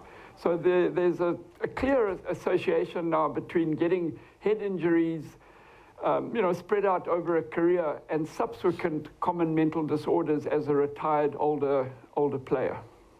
Professor, can you, uh, let's just jump right into the nub of it as well. Can you tell us uh, what kind of mental disorders are we talking about? Because I, I, I do know that uh, anxiety and, and depression is something that, that crops up right about this time of the year, for example, for a lot of people. Are, are those the kind of illnesses mm. we're talking about? What about um, uh, maybe even um, uh, domestic violence and so on and so forth? Uh, what, what have you found? Well, the common mental disorders that we looked at really are the ones that common society experiences as well. So these are the, the mental states that detract from having a, a good, uh, fulfilling life and, you know, cause disturbances. They might manifest as uh, family abuse or, or, you know, domestic violence. it can manifest as, in a number of different ways. You know, it's individualistic. It depends on the person how it actually manifests. But it's certainly, I think the common thread is that it detracts from um, a good, wholesome, happy, fulfilling life. Right. Now, um, one of the things that, uh, that came up uh, on immediately hearing about this, this study, Professor, was uh, me remembering um, the research that was done in the States. Uh, I'm talking specifically of CTE uh, and how uh, National Football League players were finding, finding themselves suffering from different, different mental disorders after their playing careers, from as young as like mm high school and college and, and professional footballers, as well as boxers as well. Um, is there some kind yes. of a link that can be found between your study and your research as well as what was done in the States? Yes, I think there is. Um, you know, our study was looking at specific diagnoses of concussion, and usually the traditional diagnosis is that the players, you know, loses consciousness, and then uh, there's a short-term loss of memory. You know, that would be a classical case of concussion. But more modern definitions suggest that you don't have to lose consciousness at all. So any head injury would be regarded as a concussive injury. Now, CTE, or chronic traumatic encephalopathy, is a condition which develops after repetitive head injuries. So they don't have to be serious head injuries, they just head injuries that occur over a long period of time. So if we look at boxers, for example, they might go to the gym and, and spar, even with headgear on and, and heavy gloves, but it's just that repetitive banging on the head that develops a condition which is now known as CTE. And this is a really, uh, it's got very important serious consequences. Firstly, it, it's a condition that's very much in the spotlight at the moment. Uh, it, it's in a phase of learning a lot about it. So, uh, you know, 10 years ago, not too much was known about it. And now, with all the, the publicity about concussion and head injuries and um, the, the, the, consequences of head injuries, there's a lot of focus on C, CTE. And I think it's affecting, um, certainly affecting sports people the way they engage in the activity and, um, you know, in terms of administrators who are now looking at rules. So we're in a phase where there's lots of change going on. Attention has been drawn to the consequences of head injuries, and I think now there's a reaction trying to firstly understand the medical associations, what are the consequences, and then secondly, trying to come up with ways of preventing them in the first place. You talk about changes and uh, how much all of this has come into uh, like fo focal uh, focus of the public as well as administrators and rule makers. Uh, different sporting codes have got different protocols. We know what uh, how it's dealt with in, in the world of rugby, for example. Uh, but having said that, in, in the world of football, professional football at the highest level, just last night there was a match in where two players knocked each other, both trying to hit the ball, both knocked out, both ended up playing the rest of the match with bandages around their heads. But they really they're not taken mm. off for any test, didn't get knocked out, not taken off any test, and carried on playing. Are we talking about change in that kind of uh, field as well? Most definitely. I think the sports in which the risk of head injuries is highest are the ones that are having a leadership role at this stage. So rugby has got very advanced strategies in place now to protect players, and it's work in progress. And I think the sports where the risk of concussions are lower are kind of following along and, and slowly starting to realize the, the importance. It's not just the administrators that really need to be targeted, though. I know in rugby they've also counseled the commentators as well to refrain from trying to make out that a player's tough when he gets a head knock and then stands up and carries on playing. Mm-hmm. You know, often the commentators would have said, oh, so and so is tough as nails, a head knock's not going to keep him down. And, you know, the, uh, that sends out a message to the public that toughness is over, overrides any potential injury. So I think in addressing the problem, it needs to be at all levels. It needs to be at the medical level, it needs to be at the administrative level where they look at rule changes to reduce the risk. It needs to be at the, at the commentators level, it needs to be at the parent level. When children are involved, they need to understand mm-hmm. as well that if their child gets a knock on the head, it's not a case of toughness whether they continue or not. It's, it's, it has serious health consequences. So I think the more attention that's drawn to this condition, the faster public awareness will be uh, created. And then, you know, hopefully the, uh, the impression about getting a head knock and what, uh, you know, whether you're tough or not, whether you can carry on, yep. you know, those um, misnomers will be dispelled. Professor, have, in South Africa, have any of the um, federations and associations reached out to to to, uh, to you and and uh, your team uh, to see if they can get more information and as to how to dovetail your research and your findings to make sport safer for children in primary school, for for professional athletes? Have any of them reached out to you yet? Yes, we work very closely with um, South African Rugby. They have a program called BokSmart, which is designed for rugby safety. And we've had a, a, collaboration going on with them now since 2009. And they've done some amazing work making the game safer. And much of their uh, focus is on, on youth because those are the, the population that are vulnerable. And uh, so their information's in the public domain, so people from, from different sports can go and look at what has been done in rugby.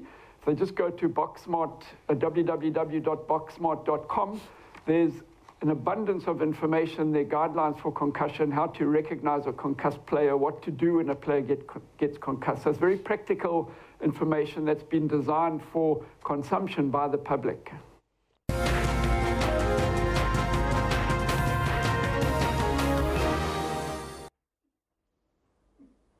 Well, there you had it. Very interesting conversation there we had with uh, I had with uh, uh, Dr. Mike Lambert about concussions and what happens uh, when athletes get knocked repeatedly uh, post their careers. Uh, definite information that you need to adhere to and keep to mind. Now, Dolphins all-rounder Robbie Frylinck has described his call-up to the Proteas T20 team at the age of 33 a surprise. Frylinck will count on all his experience in the upcoming T20 International Series against Bangladesh, starting at the Mangaung Oval in Bloemfontein on Thursday. You get to a stage where you sort of say to yourself, right, well, maybe it's not meant to be and it's not going to happen.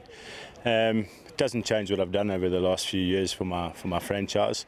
Um, you know, I'm a type of player that when I get onto the field, I give 200%, regardless of what what the outcome is going to be or what I'm looking to achieve.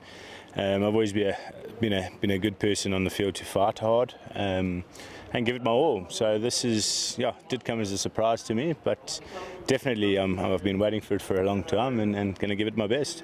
Yeah, look, there's always there's always different pressures. Each game's got its own pressures. Uh, this one I have a few more pressures, but you know, i am I'm at that age now where I'm not trying new things. I'm not doing anything new. So I, I pretty much well, touch wood, and I, I, think I know my game. Um, so for me, it's just to keep it as simple as possible, stick to my game plans that's, that's got me here, and, and hopefully it goes well. I think it's pretty much the same as, as, as all formats. Um, you know, with, with this Proteas side, we've seen over the last few months that the batting lineup is, is phenomenal. So whether I get the chance to, to have a hit with the bat, we'll see. Um, but yeah, I think it's it's it's a quite a vital role. Um, I serve purpose with, with both both formats, so batting and bowling. Um, I think I'll be used probably more with the bowling than with the batting.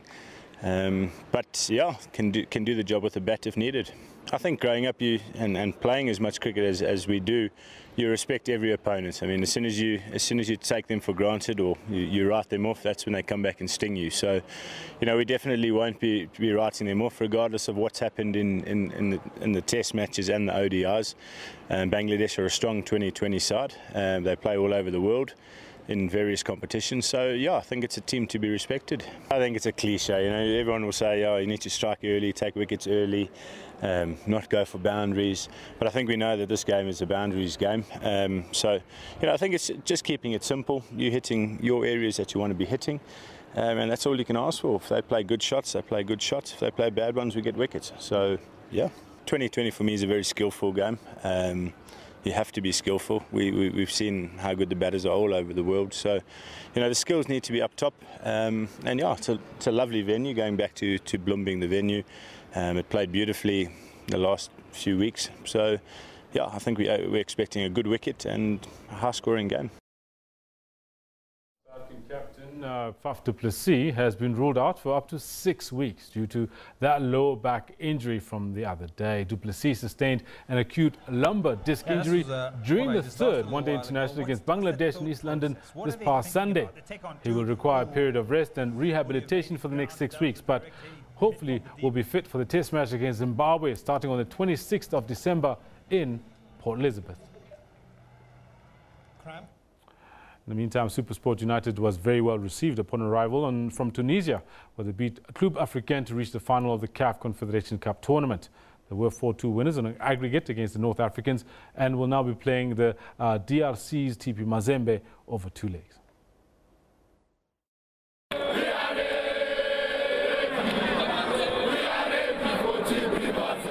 Defining moment for Supersport United, the first Continental Cup final.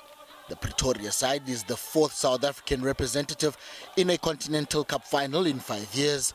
United have followed in the footsteps of Orlando Pirates, who were Champions League finalists in 2013 and Confederations Cup runners up two years later.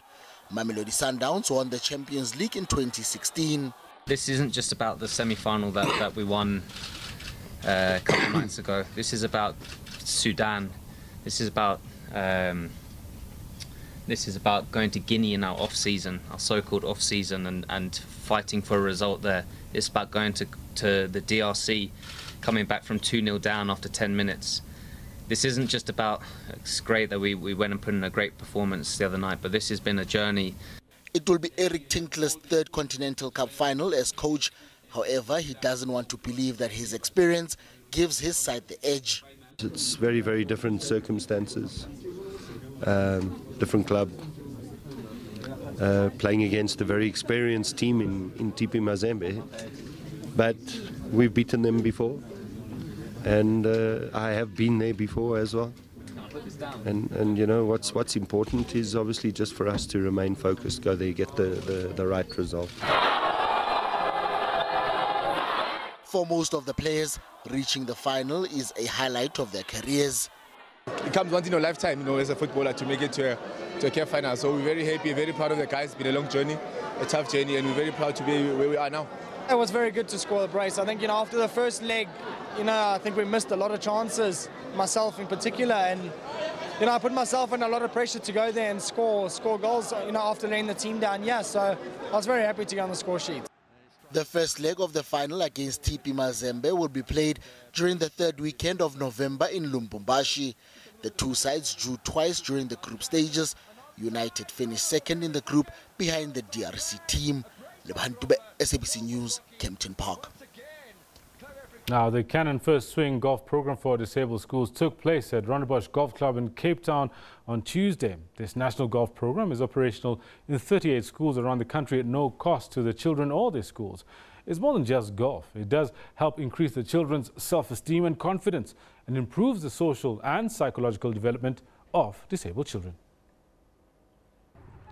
The Canon Future Swing program provides specialized equipment, transport, a modified golf environment, and qualified coaches who are trained to meet the special needs of disabled children. Currently, the program is focused in and around the big city centers. It's very important to be part and parcel of this, to actually help these kids develop. And it's all part of our, what we stand for, which is kyosei, which is living and working together for the common good. And teaching these kids more than just golf, it's life skills, it's giving them the opportunity to grow as individuals. Tournaments for deaf learners have been developed and an inter-schools tournament has been introduced. The modified golf environment is created to expose disabled children to fun and acceptance.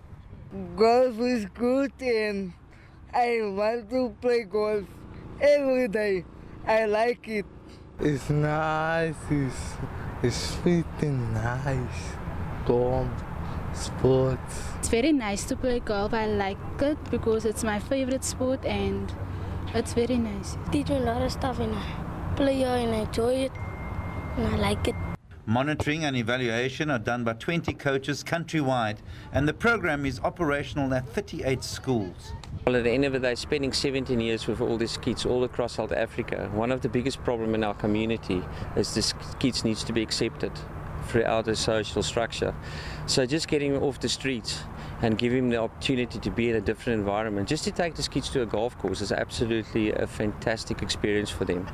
A wonderful initiative for disabled kids, an opportunity for them to practice golf skills, but the benefits are so much more and contribute positively to the children's physical, mental, and spiritual well being. Craig Murray, SABC News, Cape Town. And on that note, that's where we're going to leave with the sports. Uh, we're pretty much done with the show, aren't we, Elvis? Yes, we're done with the show, but of course, we had a poll today, and of course, we wanted uh, your thoughts on it. There, it's on your screen right now. Uh, we asked the question Are the crime stats a true reflection of your experience? Now, 67% saying no, not really, and uh, a third saying yes, they are. This one from John Smith says it's so easy to fabricate stats and worse. The minister read the stats that he probably don't understand. Well, and uh, Desiree Fellow says, let's work together, police, community, we can win. And like you said earlier, that's what it's about. Everybody needs to work together to get it right. This one uh, from Jerry says Minister Mbalula has to clean his house. His police officers, officials are corrupt. They're taking bribes left, right, and center. Uh, that crime stat is only thumb sucking. Well, so says Jerry. Those are your thoughts. Thank you so much for participating in the program on the newsroom. I'm Elvis Presslin. I'm Kendall Makamat. Arrivederci. Ciao for now. Legamos.